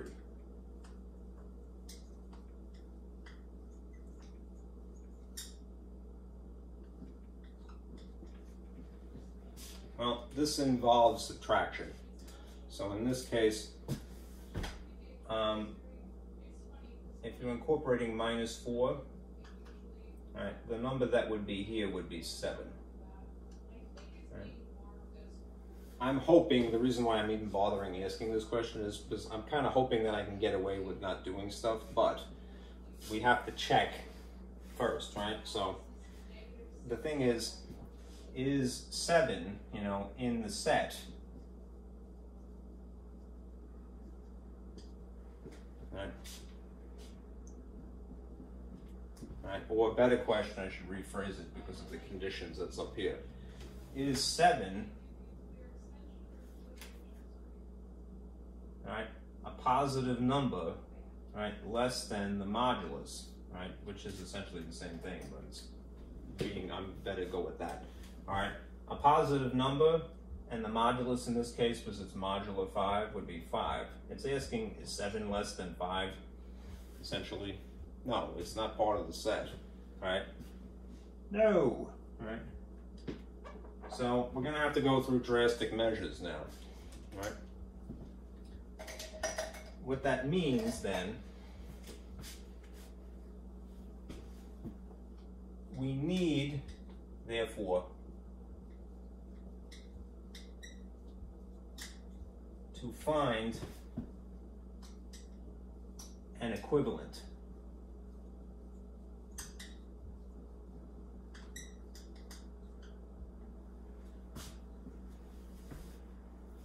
All right, to 7. Right. 7 would produce this result under ordinary arithmetic, but we can't use it because of the, the situation here. It's a positive n. Right? The, the, weird conditions of this original question were it's forcing me to deal with this in a particular way. All right, so finally, we need to therefore find um, an equivalent to 7, right? That is using characters exclusively from a mod 5 system. Right? The equivalent in mod 5 That is the objective. I need a little bit of space, so forgive me because I need to erase here.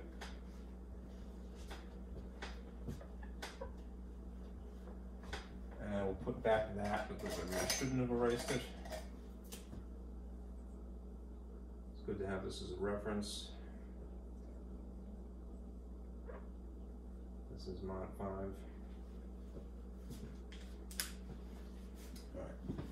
If temporarily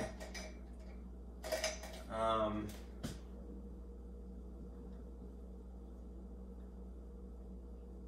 I have this figure as 7 minus 4 being congruent to 3 right, in mod 5, just to be very official. Right? What am I going to translate this to?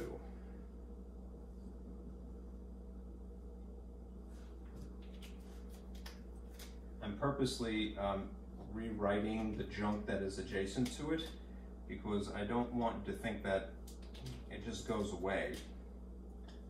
Right. It also gives me personal comfort to just illustrate that there is a transition here that is very algorithmic. It's step by step again for this purpose. We're going to try to find it equivalent to 7, which ordinarily would produce this, right? But in mod 5, so we're not going to have this digit ultimately. Right?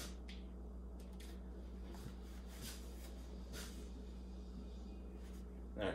In the last problem, we added multiples of 7. Why 7? Because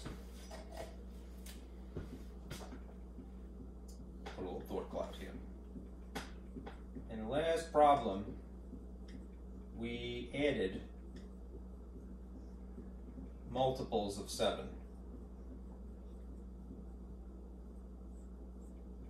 Because we were in mod 7.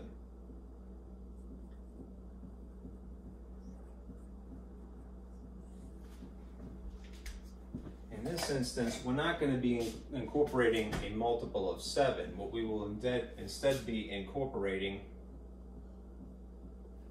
a multiple of 5. Right. But should we add? Is the real question.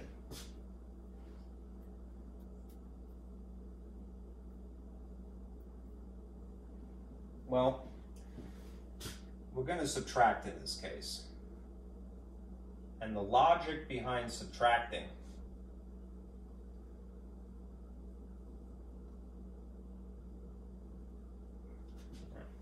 Is that 7 is too high.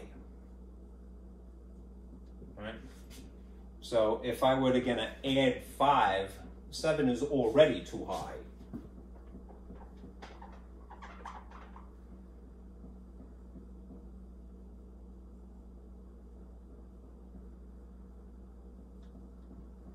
So if I were going to add 5, I would be, you know, exacerbating the situation. What's 7 plus 5? 12. Is 12 in this set? Uh -uh. Right? So what I'm going to do is I'm just going to do, well, if I, in theory, uh, use a multiple of 5 via subtraction, right, I should bring myself down into the realm of this character set with its limitations. So what happens now? Let me just complete this thought. 7 is already too high, so can't add. We subtract instead in this case. Right, to make it, bring it down to this uh, uh, strict criteria. So, what actually is 7 minus 5? it's ordinary 2, right? And the junk that is still sitting around it is this, minus 4. And this is equivalent to 3 in a mod 5 system. Right? Okay. It's a little goofy, it's a little hairy, all right?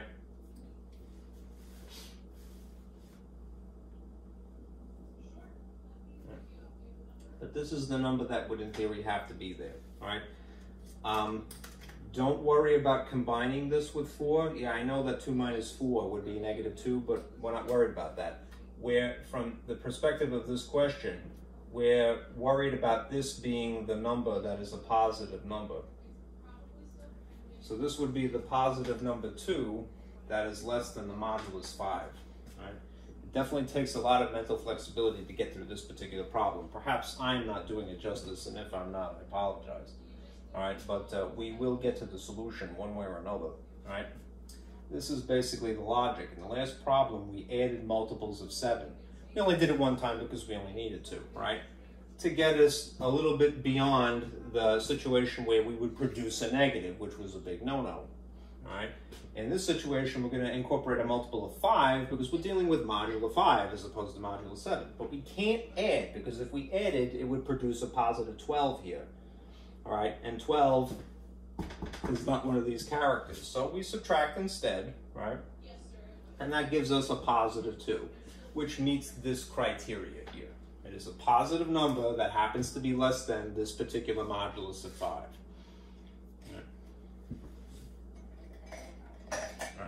More of these and then we'll do multiplication, I think.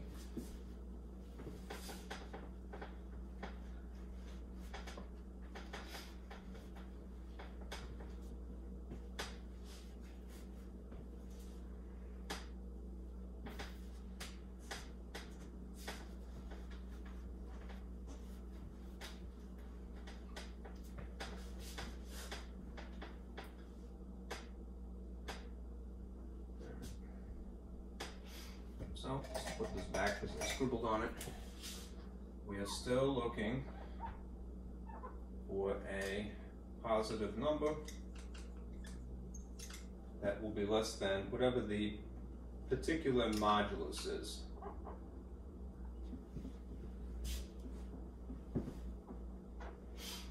now in this particular problem, um, here's what we're given.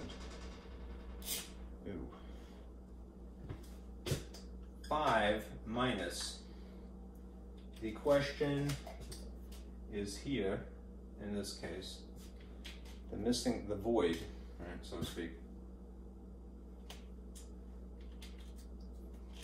And in unison, these would be congruent to uh, 7 in modular, looks like it's 8 in this case, right? 8, yes. Okay.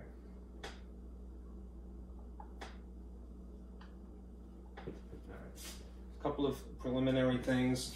All right. It may seem like overkill, but I, I think it would still be practical. All right, let's establish what the character set looks like for modular 8. All right.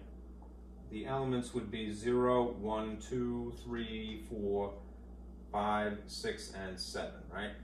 This is mod 8. All right, so our limitations in a cyclical system of mod 8 is that it starts at 0 and it ends at 7, and we're not allowed to have anything other than those characters, those elements, right? Right, in this position. Right?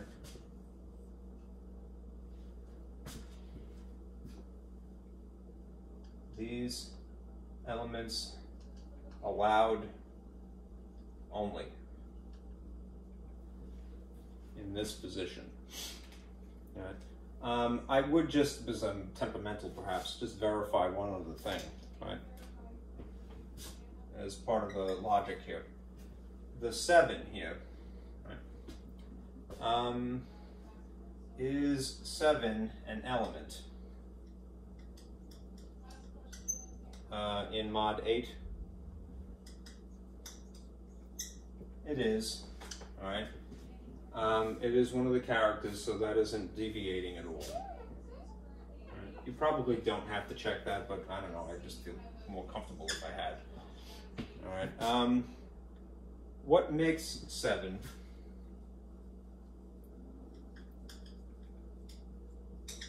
In ordinary arithmetic.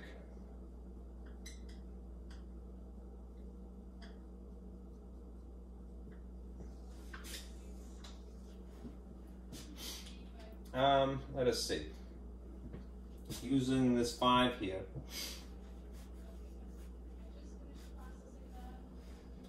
Uh, the closest thing that you can get in a situation like that, in terms of producing uh, 7, and this is still isn't correct, the closest thing would be 5 minus 12. First of all, 12 would not be allowed because it's in here, right? It's not in the character set. And number two, that would produce a negative 7 as opposed to what this is, a positive 7, right? So that ain't going to happen, all right? We can't.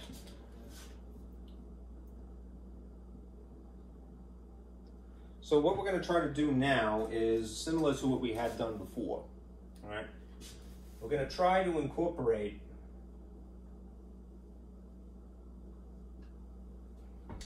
uh, multiples in this particular module system here. So we're talking about mod 8.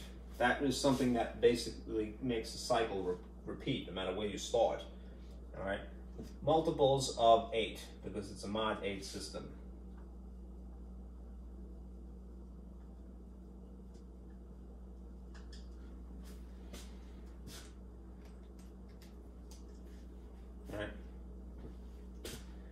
Any number that we use in here, right, is not going to produce 7, right? Let me just illustrate that. Right, if I just stuck it out with 5, right, here's a couple of ideas. If I tried um, 5 minus 0, all right, I would get 5. If I did 5 minus 1, I would get 4. If I did 5 minus 2, all right, I would get 3. And at this point, the pattern starts to show up here that I'm getting further and further away from 7, right? So just sticking with the characters here is a problem, right? Which means that this five is probably an issue. So what I'm going to do first is I'm going to go, all right, before I even address this question mark, with everything that is adjacent to it here, 7 mod 8. All right, what I'm going to try to do is rig a system where I don't have 5.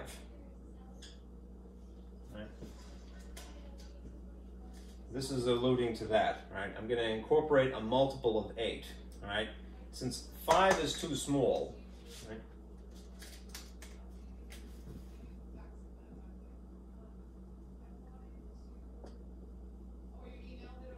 Since 5 is too small to begin with,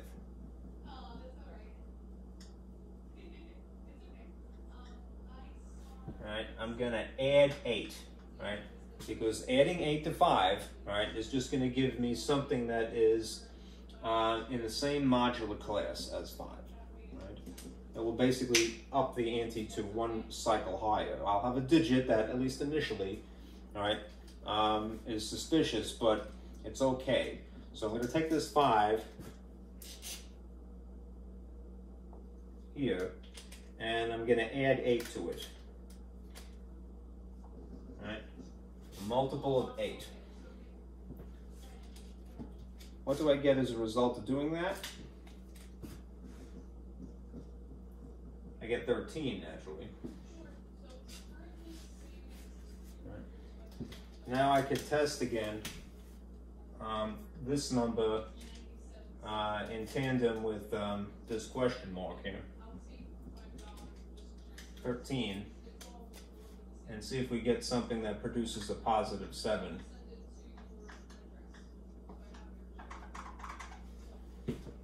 Okay. Um, here's a little thought cloud here. If I did 13 minus 0, I would get 13.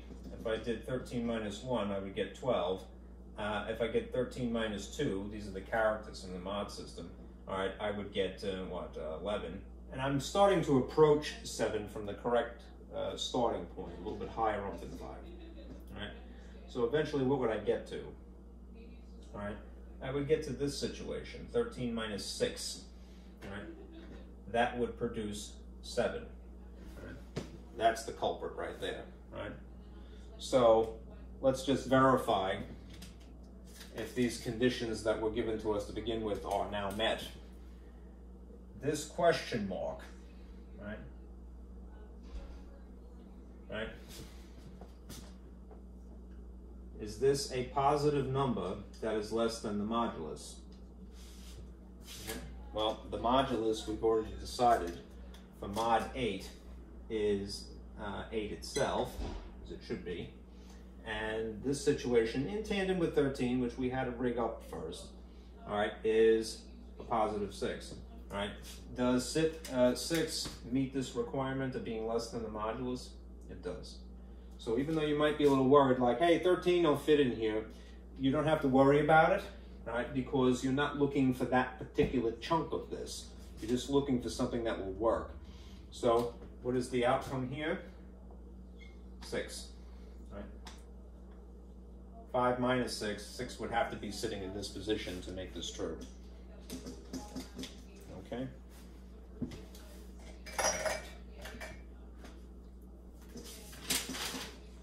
Let's do four.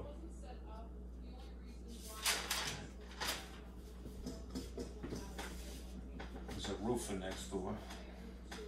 You're hearing uh, they're uh, stapling, uh, what, rather they're using a nail gun, I believe, uh, shingles to a roof I wish they were doing our roof. That's my landlord's uh, uh, plan in the long run. So we have leave.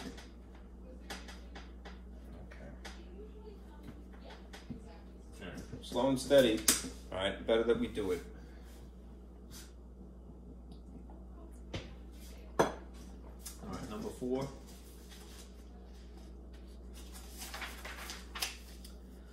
before was again uh, three problems in sequence. All right, so um, I don't think I can get away with putting these into three columns. Probably not. So let me do this piece by piece. All right, um, this is similar, but it involves multiplication in this case. So what you're gonna do is find all, the operative term now, positive numbers that are less than the modulus that makes the statement true. All numbers that are positive numbers less than the modulus. Alright, this will be the recurring instruction, and then beware, this means that there's going to be more than one. Alright, so the first one is, let's see, 2 times question mark being on this side of the congruency symbol. And this will be 3 in the mod 5 system again.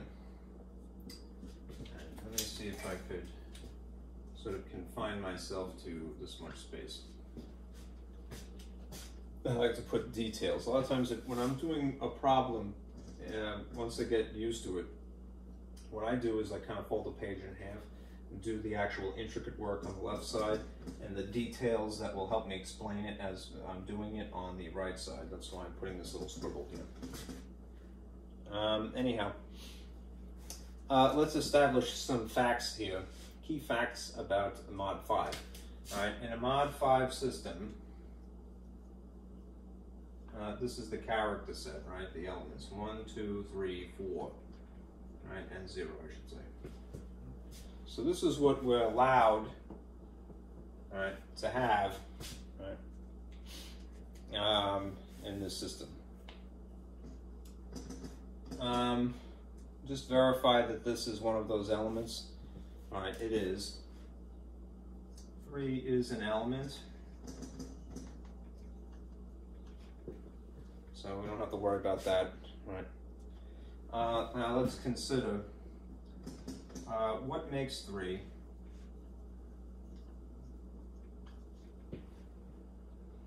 Right, when multiplied.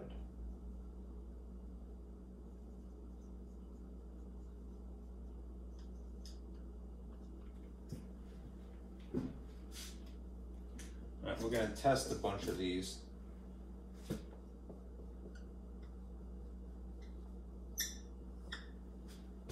Um, usually up to the point of uh, the last uh, element in the set, right? The ordinary multiplication would be true, right? So I'm gonna just borrow basically this half here, right? Two times um, the first character, zero, would be what? What's two times zero? uh, that would be naturally zero. Right. What is two times one? Two. And then we have two times two, which would be four. And that's a maximum here, just beware. So when we get to past that, when we try the next element here, uh, 2 times 3, what would we get under ordinary arithmetic? We would get 6 in this case. 6, which exceeds the limit. Right? Now you could just reason it through. Alright, once you get to 4, alright, what's the difference between 4 and 6? 2, right? So you would go back to 0, Right, that's one, and then it should be one is the next thing. It's a way of reasoning it through if you absolutely had to. Now, otherwise, all right, you could try the division, right? We'll prove that that should be one, the equivalent of one. Um, you would do, let's see, uh, the 6 here, and you're dividing, dividing by the modulus of 5, n equals 5, of course, and seeing what the result will be. All right, how many 5s can you squeeze into 6? Just one, naturally. And what is the difference of 5 and 6? 1, so your remainder is 1. All right, so um, standing in place of 6, right, what you would have to have is actually this, that 2 times the 3 here, right, doesn't produce 6, it produces 1 instead of 6 right, in the mod 5 system.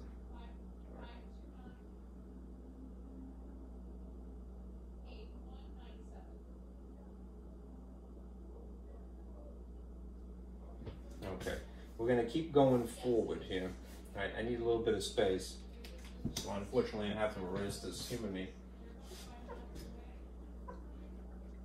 We still haven't resulted in something that produces a three though, right? We've gotten to one at this point, which is progress, but it isn't, uh, isn't uh, done yet. Right, so continuing on, testing. What's 2 times 4, the next logical character? We would produce, in this case, naturally, under ordinary arithmetic.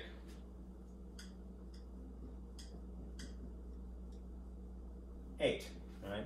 This again is the situation where it exceeds the limit.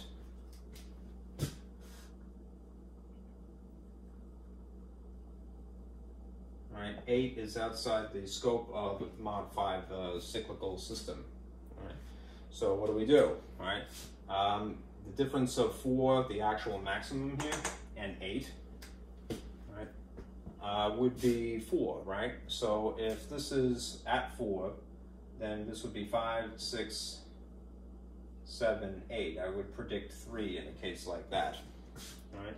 Let's verify, right? If you did that, you would have eight in here divided by the modulus again to see what the equivalent is.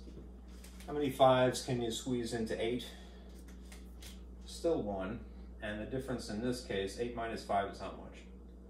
Three. So the remainder here is three, right, as predicted, okay? So how would you write this situation here? Right? You would write this as two times four, and if you're wondering why I keep putting a box around these particular numbers, it's because we're looking for that number, right, in the original question here. Right, is equal to what sitting in place of 8? 3 is in the same modular class. So this is equal to 3, all right? We've finally gotten it. We've finally gotten to the number, all right?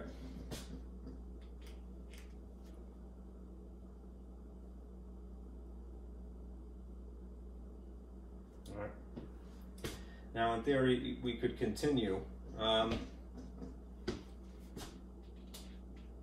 uh, but that should be it.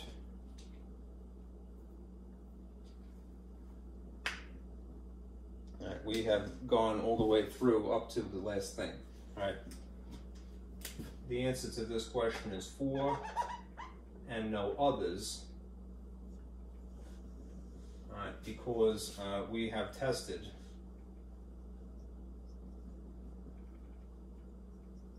all elements. Right. Is 4 a positive number that is less than the modulus? The number is 4 and this is 5.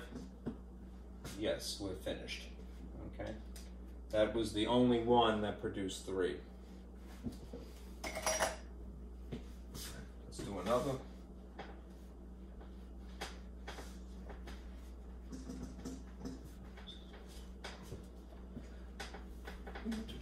Okay,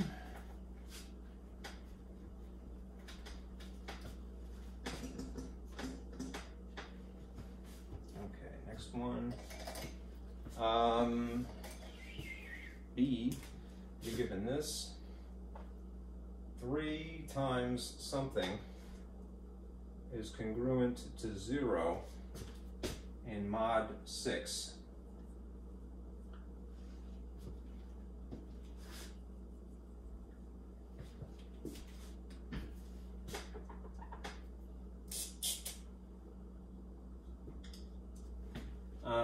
Us establish again the character set in mod 6, the elements 0, 1, 2, 3, 4, 5, be 6 elements total, and it starts at 0 naturally and it ends in 5 if it's a modular system.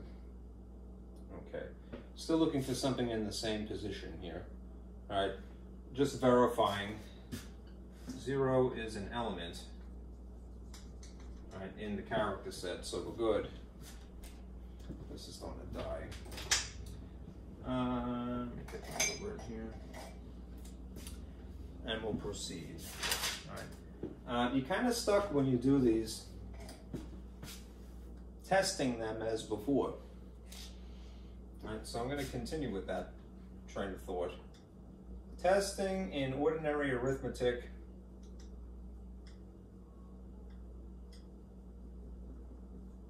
um, to see what we get. All right, so starting from scratch. All right, three times what? All right, the very first character is zero itself. Three times zero produces zero. All right, so already we've hit um, pay dirt. All right, save that one. Right, that's definitely one of the answers. We're finding all. Uh, it really is not technically positive though. All. Um, yeah, you know what? That is tech. Like it's funny because if you look in the solutions here, they had uh, suggested that uh, zero is in fact one of the answers, and it does produce that, but it isn't exactly positive. Right? Zero is neither positive nor negative. It's a technicality, but hey, uh, fine. We'll take it too. Right. Um, next one. Uh, what is the next character? Pardon me, the next element? One, of course. All right, what does 3 times 1 produce under ordinary arithmetic? 3, all right. Um, that isn't 0, so that's not one of the answers. Um, 3 times 2 is the next one. What's 3 times 2? Uh, would be 6, naturally. And here we have our first uh, stumbling block here because why? All right, it exceeds the oh. uh, element character set here. So um, you could reason it through, all right? If it goes up to five, and then the difference of six and five is one extra space, all right, it would go back one. This sh should be one of the solutions then, all right? But let's prove it, all right? If this exceeds the limit, all right, then we'll do uh, 6 divided by the modulus of 6. To see what, we'll check the congruence here. Uh, six goes into itself exactly one time. The fine details would produce a zero. So indeed, the remainder would be zero, right? Which means uh, the alternative way of writing this would be the, the, the second, really, it's really technically the first, but the second according to the textbook um, solution, which is this. 2 is equal to, is congruent to 0 here. Right, because of the remainder here. 3 times 2 is congruent to 0 in a mod 6 system. So we have one solution, 0 here, even though it's not technically positive. All right, 0, and now 2, and we're going to ch check some more just to see how many we can get, all right, until we've hit the end here. So we're going to continue.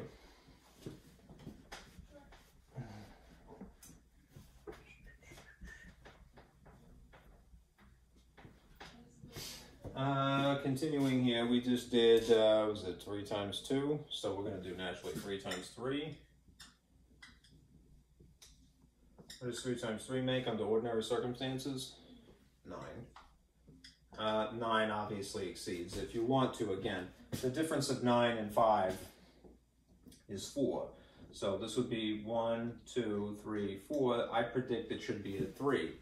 All right, uh, but we'll verify.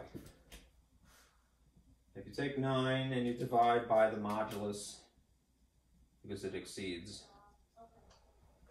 All right. Um, 5 goes into 9 roughly, again, one time.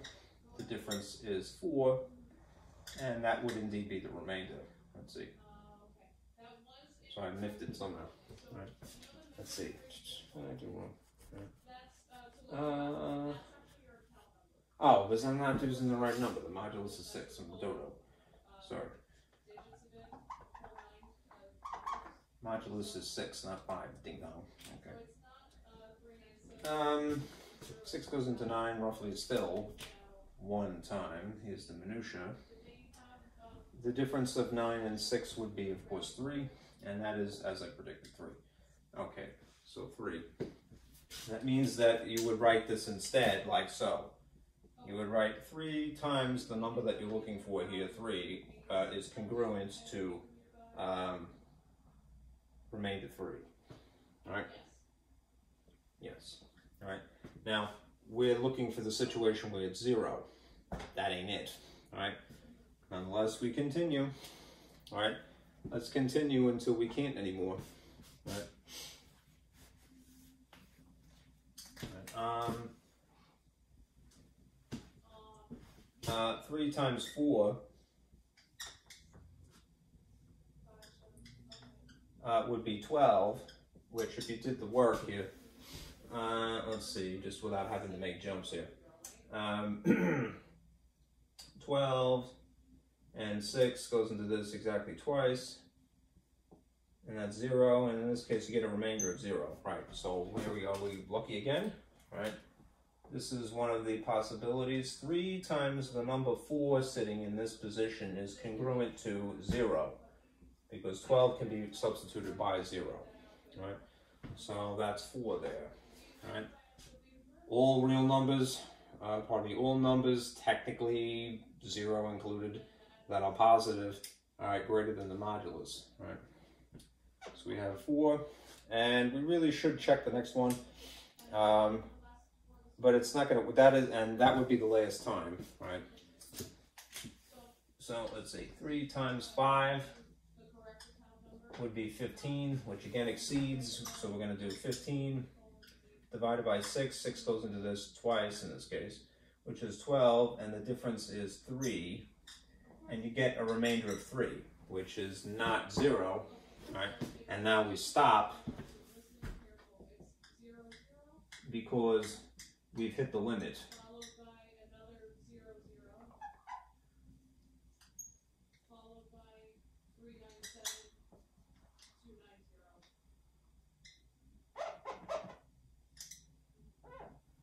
Okay, we've hit um, the last character in the set here, five, so no more. All right, these are the positive numbers that are less than the modulus of six. Right. Okay. Uh, one more of these and then we'll do a couple of word problems and I promise we're done. Right. I think it's better to sort of dissect these because they're a little tricky, right? That's why I take my time.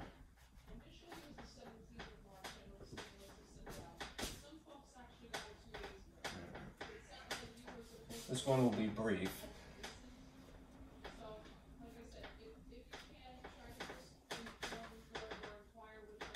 Okay. Um, this is still example four. All right, all positive numbers less than the modulus that make true. The following statement. All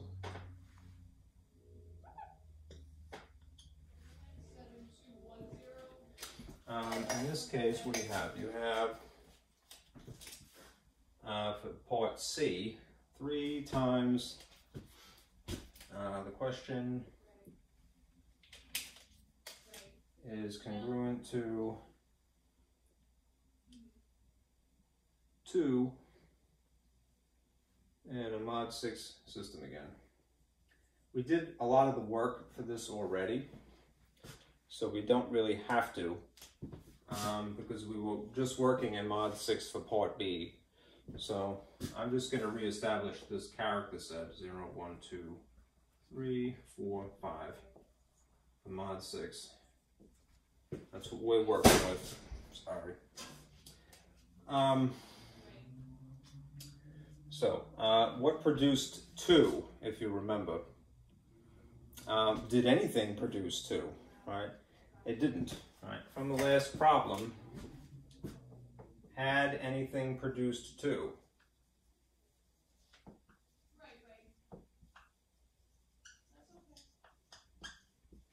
Right, in that last problem.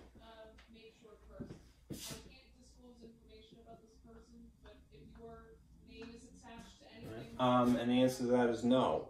All right, this is basically as it worked out. Uh, we got zero, and then we got three, and then we got six, which we translated to zero. Right, and then we got what again? Um, after that, it was nine.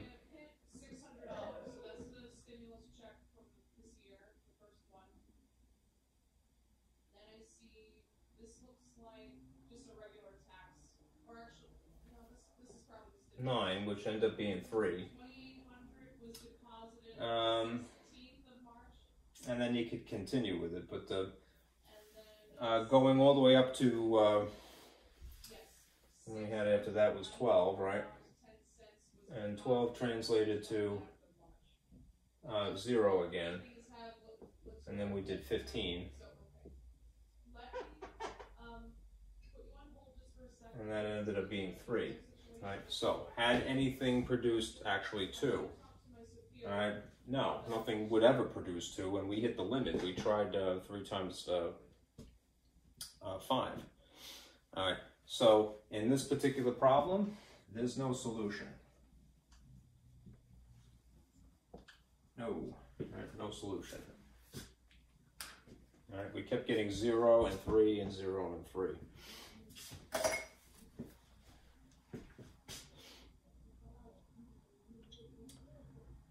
Is this?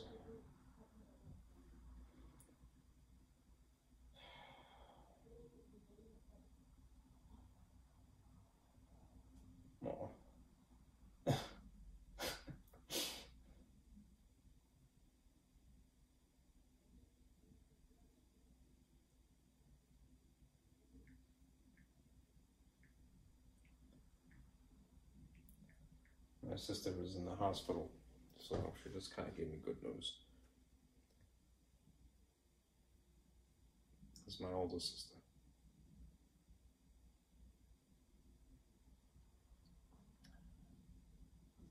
Don't know what that movement is. That's weird.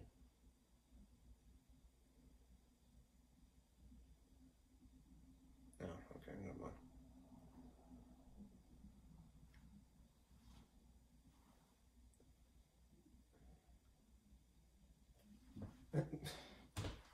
Great. That's good news. Another reason why I went through the tedium of doing the last problem was I had the foresight because I did this last night when I was preparing of knowing that the work that had been done would help illustrate this problem. We got 0, 3, 0, 3, 0, 3. It's never going to produce a 2, so there's no solution.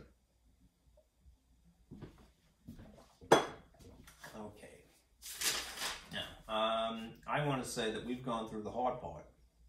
Right, and what I'm going to do now is um, do the last two, which are word problems with you.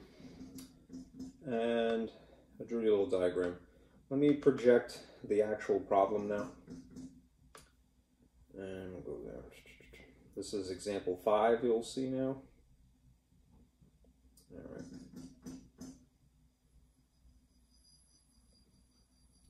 Uh, there's a, a, diagram that I made for this, specifically for this problem, so I'm going to put this here. Clickety clack.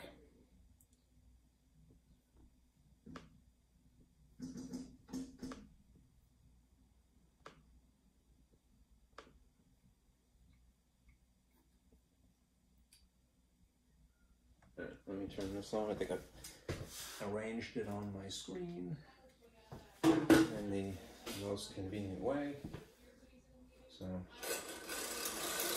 me turn this off now. And free up space.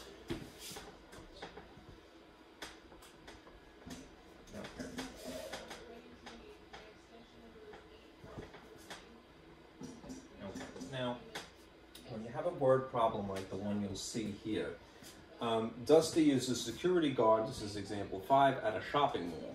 His work schedule is to work for six days in a row, and then he gets two days off. Right? If today happens to be the third day in that um, arrangement, right? Uh, that and Dusty has been on working. Let me just read that again. If, if to, today is the third day that Dusty has been working, determine the following: Will he be working 60 days from today? Will he be working 82 days from today? Was he working 124 uh, days ago? Right? When you have a problem like this, a modular system will come in handy. So let's discuss uh, this arrangement. It mentions that he has six days on, which means working, all right, And then two days off,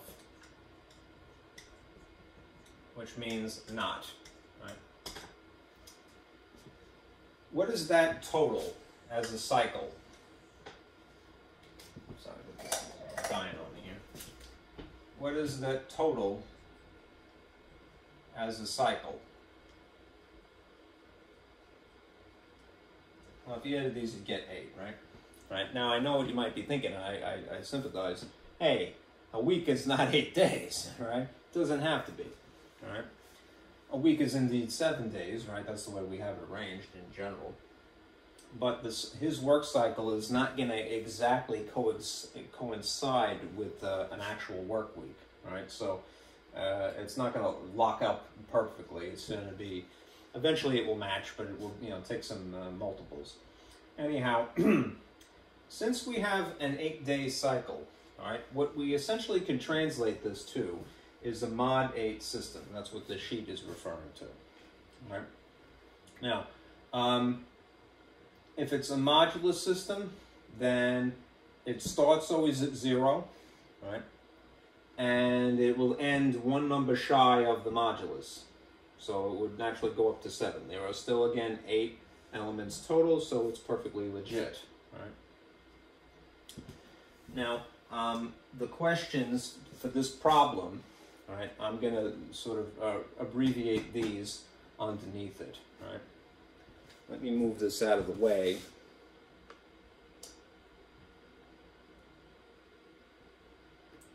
And um, I'll write the question more or less underneath it here. Um, I'm going to try, I don't know if this is going to work.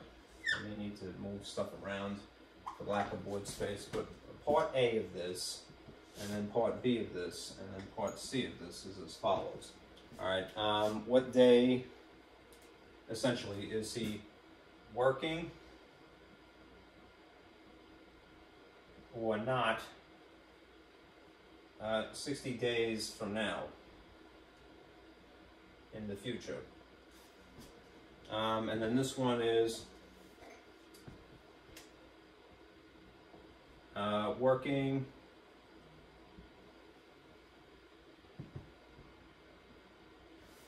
sorry or not 82 days in the future. That is an 82, I swear.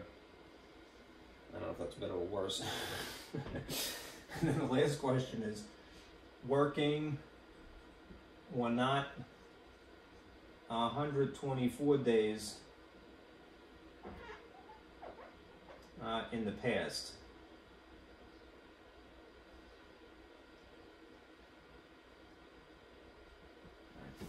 So these are these two are basically the same type of problem.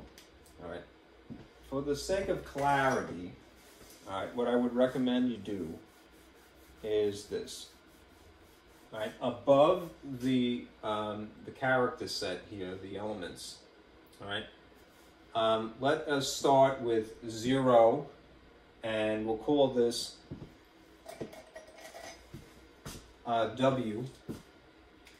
So uh, I want to see that it makes sure that it shows up clearly. So I'm going to put a blue working W for working right. uh, above zero, above one, above two, above three, above four, and above five because that would be six days in sequence that the person was working, Dusty. Right.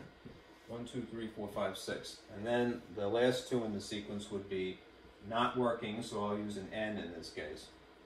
And then an N here. Okay. Now the conditions that followed it as well, I'm going to pull this up now, right, is this, right? Uh, sorry for the mess. If today is the third day that Dusty has been working, right, and we're going to start with this zero is working, one is working, two is working, three is working. We're starting here rather than there, all right? We're going to ask, ask the, answer the question of whether or not he will be actually working 60 days from this point. All right. Now you could, um, in theory, do what we had done before, which is derive a uh, clock face with eight points as opposed to seven, and then go to three, right? And then count another 60 days, right? But that's rather tedious, right? All right, so what we will do instead is we're going to try to find uh, something that is in the same modular class. Find the number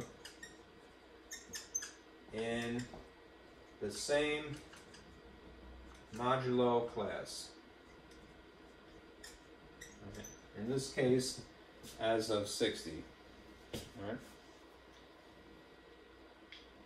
That means essentially a character that is going to be something between uh, 0 and 7. And then we're going to go back to this, all right, and then uh, sort of make jumps, all right? So uh, let me do that now. If it helps, let me just uh, label this as well. Uh, technically, this is the first day. This is the second day. Um, He's on day three, right?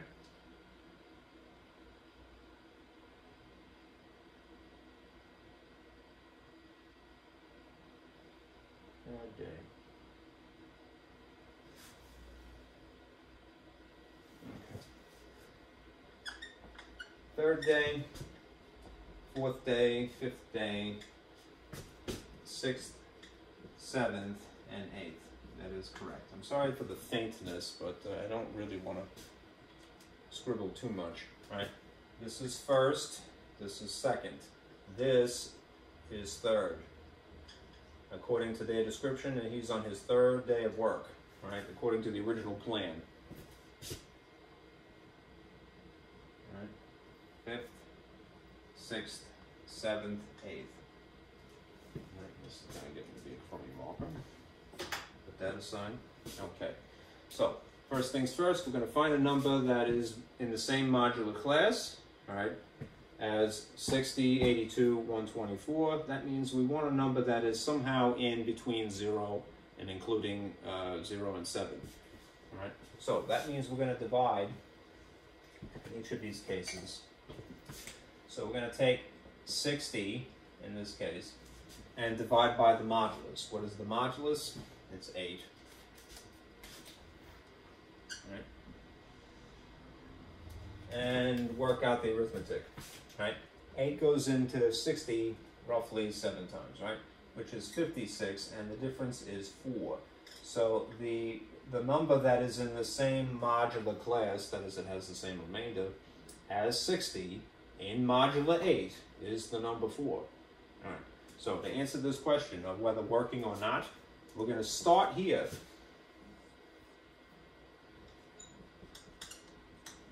All right, and since time is marching forward, all right, we're going to make basically four jumps, right? Because it would be the equivalent of making 60 jumps, essentially. Four jumps is equivalent to 60, right? Without having to go through the rigmarole. So, here we go. One, This is very faint. Two, three, four, right? Starting on the third day, which is the number two here, weird as that is, all right? One, two, three, four is the seventh day in the cycle, and that is uh, not working. Okay? So day three plus four in this modular system is actually the number six, which is the seventh day. I know that that's crazy, right? But to answer their question, uh, this person would be N, not working. Alright, that's the end of this mark, I suspect. Okay. Um, continuing. Don't fail me now.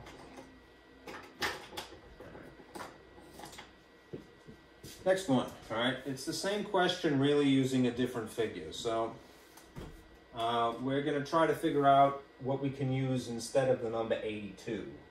So here's 82, when we're to divide by the modulus, which is the number 8, and then work it through. All right? 8 goes into itself one time, right, which is 8, and the difference is 0, and then you bring down a 2, and then what would happen? 8 uh, goes into 2 is it too small? It's too small, so you put a 0 here, alright? And then 0 times 8 would be 0, you would subtract and you would get a remainder of 2. That means that 2, one of the characters that is in this uh, modular system, is equivalent essentially to the number 82. So we're going to go back to the starting point. Third day is the number 2 here, alright?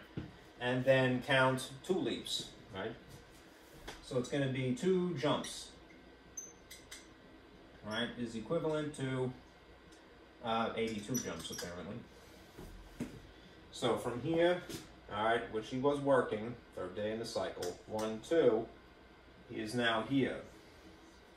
On the fourth day, uh, the fourth number, which is the fifth day, I know that's crazy, but more importantly, they're working.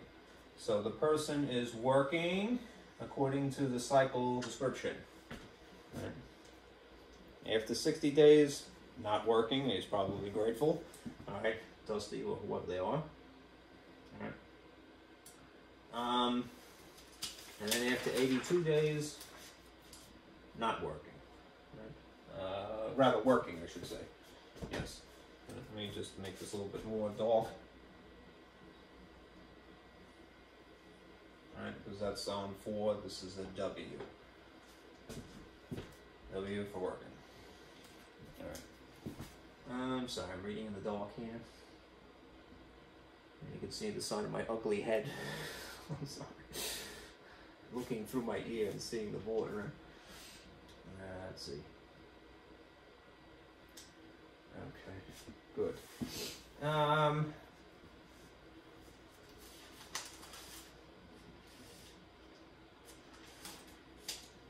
one more of these. All right, this one is a little backwards, right? Uh, we're still going to go through the same process. We just have a larger number to divide into. So we will divide uh, 124. That is the correct day, right? Mm, yeah.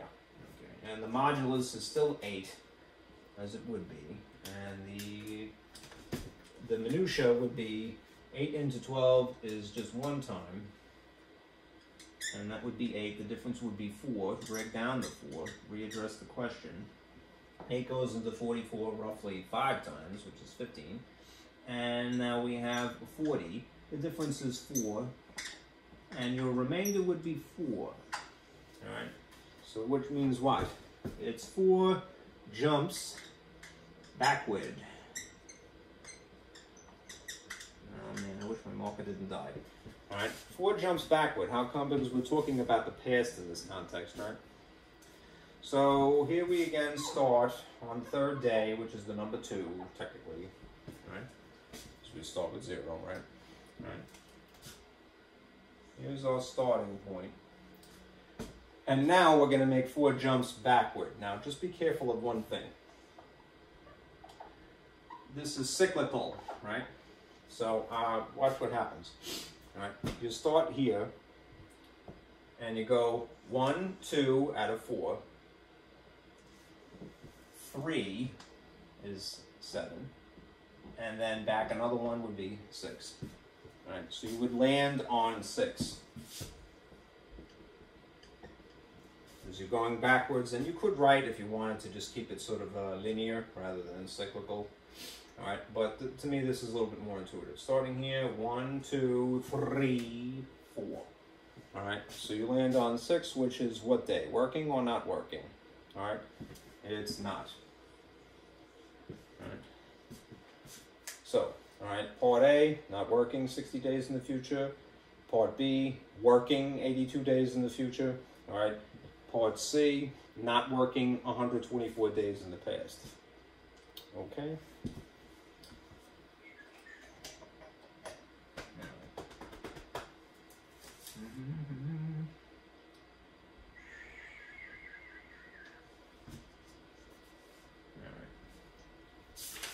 one more of these, and that'll be that.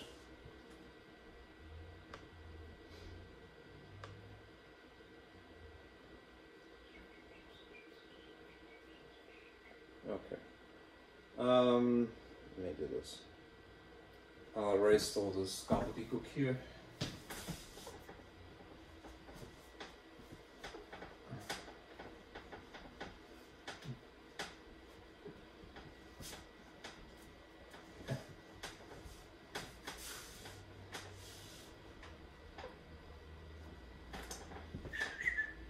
Um, purposely sort of obscuring a lot.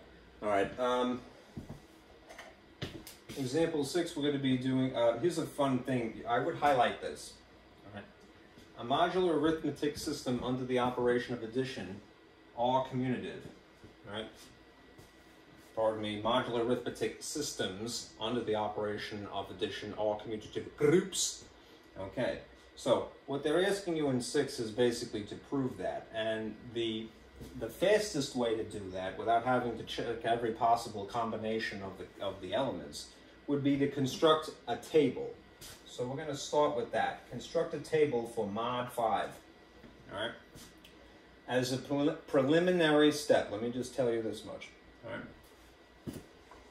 Um, decide all right, what the elements are.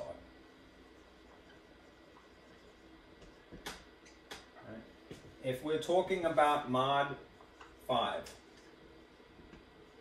right, what do the elements look like?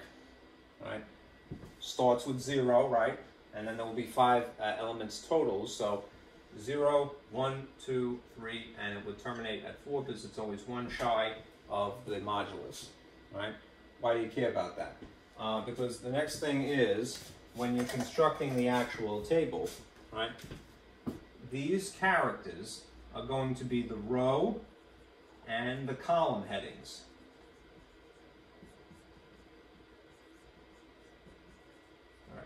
Now, uh, to spare you a little bit of trouble, all right, um, I had the good sense last night, all right, to uh, give you sort of a scaffold here, all right.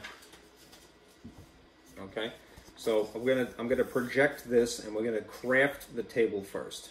All right. The whole purpose of this is that we can prove that this is a commutative group, which, as you know, has five requirements, and it's easier when you have an actual table established. It may be intimidating, but it actually is very intuitive.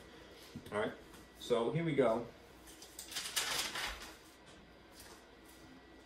All right, let me move this out of the way, and I'll just project my table here.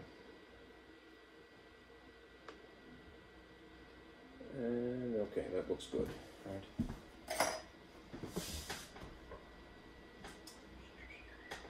All right, so since we're dealing with the mod 5 system specifically, all right, um, and we have a nice table here, um, under addition was the operation, right? Up here, I'm going to write these elements, and along the side here, the same elements, because that would naturally be the case if you have a row and column headings. So, um, let's do that. All right. The first uh, element would be 0, 1, 2, three, and then four. All right, and I'm just going to stick with the same color. Down here would be zero, one, two, three, and four. All right, now we're going to do the arithmetic as we normally would. as long as the result, right, as the result is in the set, right, we don't have to translate. No translation. Okay? So, this is the operation. What's 0 plus 0? Right? Even under a mod 5 system, that would be the same answer. Right? What's 0 plus 1? 1, which is an element. Right? So, even under a mod 5 system, that would be the correct answer. All right, 0 plus 2, same thing. 0 plus 3, same thing. 0 plus 4, same thing. All right? We haven't violated or exceeded 4, all right? At least not yet, all right? If you do it this way, you see the exact same thing, right? What's 0 times 1, uh, pardon me, 0 plus 1? 1, 0 plus 2, 2, 0 plus 3, still 3, 0 plus 4, 4. Everything is copacetic, all right? And we can get away with that a little bit while longer, so let's do it while we can. All right? What's 1 plus 1? 2 is 2 in the set, all's well. All right? 1 plus 2, 3. It's 3 in the set, also all well. All right? One more chance at this, right? What's 1 plus 3? 4, which is the maximum. All right? Now we're technically going to get repeat the cycle, right? So, but without having to do the division, because the numbers are relatively small, we could kind of talk ourselves through it in the same way we had done in the last problem. It is cyclical, right? So we're going to jump backwards to the front. What is 1 plus 4 under ordinary circumstances? I'm just going to temporarily put the answer here. 5. But 5 is not in the character set, right? So we would be here, and then we would have to go how much extra? 1, which would return us to where? 0. Which means that instead of 5, we're going to have a 0 here instead. Okay? And there'll be similar situations like that. Actually, what's going to happen is you're going to notice that there's a pattern. All right? If 1 plus 4 produces 0 in modular 5 system, right, then uh, 1 plus 4 would be here, right, as well. So you would have the same situation. You would have a 0 here as well, without having to go through the trouble of figuring it out, right? There'll be a, an obvious pattern to this, is the trick to it. Right? It's a fun kind of exercise, I think. All right, let's uh, move along here. What's 2 plus 1? 3. That's legit. It's in the character set. All right, 2 plus 2, 4. Now we've hit the maximum again all right? 2 plus 3 would be 5, but we already know what happens when you hit 5. 5 equals 0, right? Because you go up to 4 and then it's one extra jump, which would be backwards because it's cyclical. So we have another situation where we have 0 here, all right? That means that where there is a 2 in tandem with 3, right, that it's probably going to be the same thing, all right? So that would be where? Um, 3 and 2 in tandem would be here as well, so that's another position where 0 would show up. And do you notice that there's this interesting diagonal line here? Um, do another one. 2 plus 4 would in theory be 6, all right, under ordinary circumstances.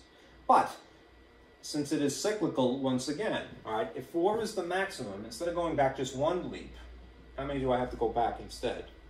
Two, right?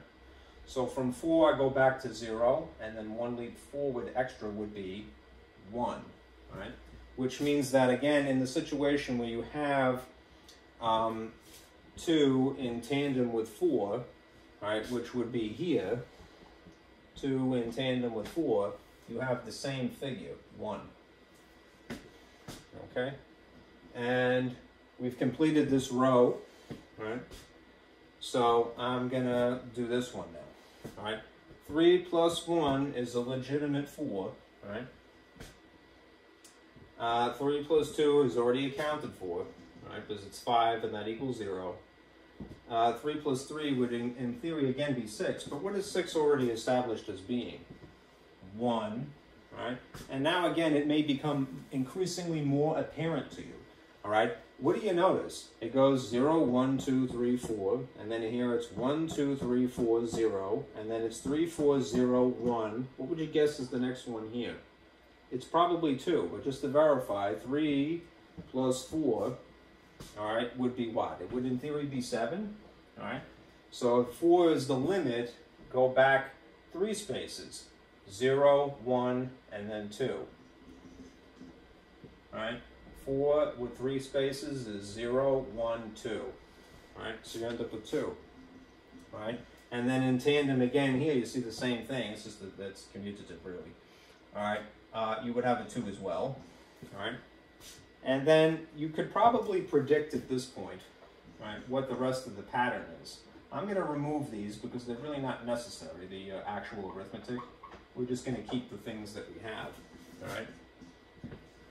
Look at the columns, even this way. 0, 1, 2, 3, 4, 1, 2, 3, 4, 0, 2, 3, 4, 0, 1, 3, 4, 0, 1, 2. What would you guess is probably here? All right. I would bet money it's a 3. All right. And just to verify, 4 plus 4 is 8. All right. If you want to do the brute force division, all right, it would be the sum of 8 divided by the modulus of 5. All right. 5 goes into 8 one time. And the difference between 5 and 8 would be 3 which is the remainder 3, right? 3.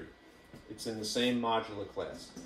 This is a complete table, and it's great that we have it, as much as it is a little tedious, and it does get a little, get, it takes some getting used to, all right? We now have something that we can apply the shortcuts from section 9 to, which is cool, all right? That will reinforce that skill, all right? So to free up a little bit of space, I'm going to erase the gobbledygook over here. Try not to move my projection around. right? And free up some space over here. All right, remember, there are five requirements, right? If we're talking about something being a commutative group, well, that's what we're trying to prove, right? The first requirement of a commutative group. Right now we just have a modular 5 system, right? We want to know if it is a commutative group, right? Uh, number one, we have to check if it's closed. All right. The formal definition of closed, closure, would be that when you apply the binary operation to the elements, right, does it produce anything other than those elements? In other words, if you, and the shortcut is uh, anything peculiar in the in the table.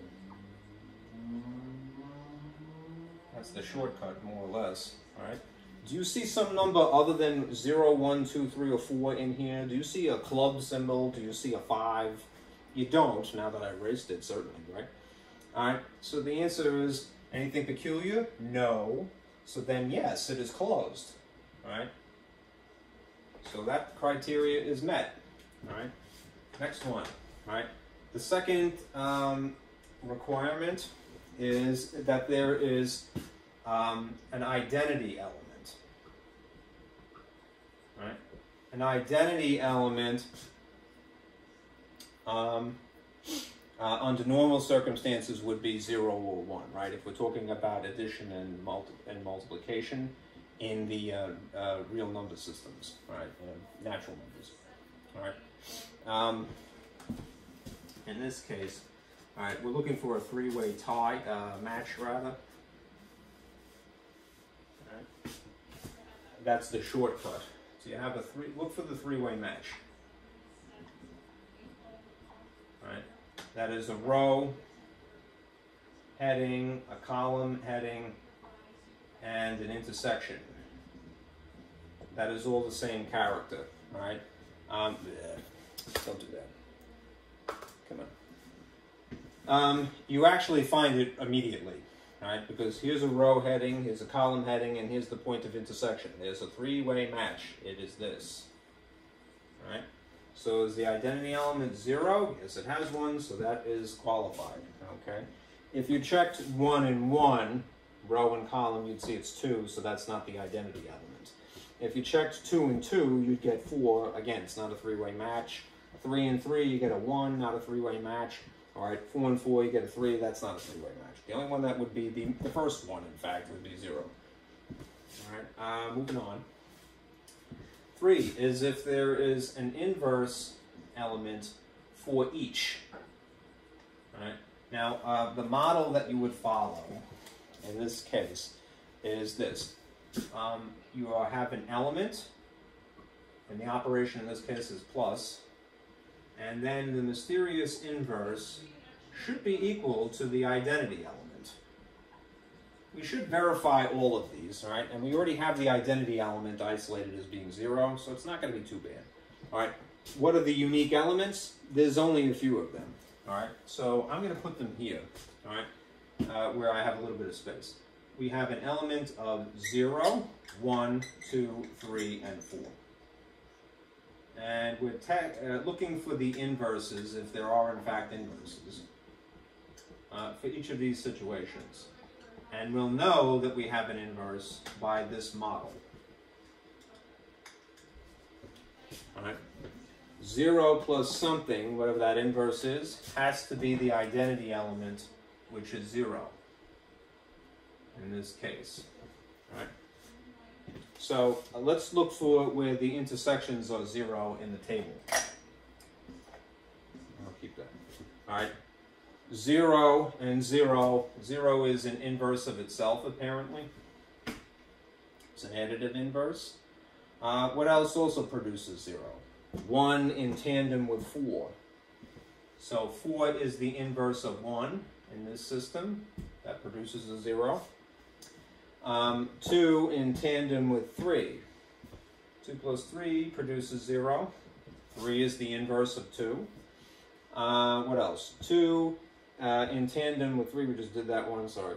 3 in tandem with 2, it's just the backwards, commutative. All right, 3 plus 2, 2 is the inverse of 3, it's just an alternative way of phrasing it. All right, and then apparently 4 in tandem with 1. All right, so good. So in answer to the requirement, is there an inverse for each of these elements in black? 0, 1, 2, 3, 4. The answer to that is yes. All right. Now, um, I kind of jumped the gun a little bit. All right. They did tell us in the instructions all right, that we can assume that it is associative. All right, here, let me just point to this. All right, um, assume the associative property holds for the given operation, right? And the operation is addition in this case. So we don't have to check the fourth criteria. That is often the case because of the tedium, all right? So the fourth condition would be, is this associative totally? And the answer is yes, it would be. So check, check, check, check. Now, the fifth requirement would be the commutative property, which in theory you would have to check as well if you didn't have a table. Right? Is this totally commutative? That means that if you reverse the position and try every combination of the characters, that they produce a commutative relationship that just reversing uh, two terms at a time, that you're just going to get the same result no matter what. Rather than do that, what you can do is employ the shortcut, right? And the shortcut is to check for symmetry about the main diagonal. Right? Remember the main diagonal is, um, I'll put it over here, smaller rectangle here. The main diagonal would stretch from this corner to this corner. This is the main diagonal, all right, which is the top left to the bottom right. All right? And symmetry is basically, do you see the same things appearing on opposite sides of this diagonal line? All right, so mm, this done as well. All right, um, let me draw, uh, hopefully in green it will show up. All right, uh, faint or dash perhaps diagonal line as best I can. And we will look for symmetry. All right. Um, let's see. Sorry, this is a little bit awkward. All right. I'm gonna try to press really hard so that you see the green line, but my markers are dying. and it's a bit difficult. All right, you can kind of see that. It looks like you can. Good. So here's our main diagonal, right? On opposite sides of this green line, do you see the same features, the same stuff, elements? Zero, zero, right? Over here, one and one, right? Um, so one and one, two, one and two, one, three, two, and two, three. There's like a mirror image. Four, three, three, and three, three, four. All right, four, four, and four, four, zero, zero, zero, zero, one, one, two, two, and that's it. So I would say, yes, definitely there is symmetry. So this proves that this is a commutative group because it met all five criteria. All right, and that is that. All right. Thank you guys for listening. I'll have the um, uh, all of this stuff available for you, so you can print it. All right. Uh, hopefully that will help. All right. So for homework, um, I'm gonna turn this off. Naturally, you want to do section nine three. All right. Do section nine point three in my lab, and then you're all squared away. All right. Again, I would try not to do nine one, nine two, and nine three in the same sitting because it is a lot, right? Uh, I, I would say, especially nine three is the uh, takes a lot of getting used to, right? So you learn more in the long run if you do it piecemeal, believe it or not. Okay, it will uh, uh, basically give you more practice, you know, doing it in several steps. All right. So I'll see you again on Tuesday. Right. Be careful out there.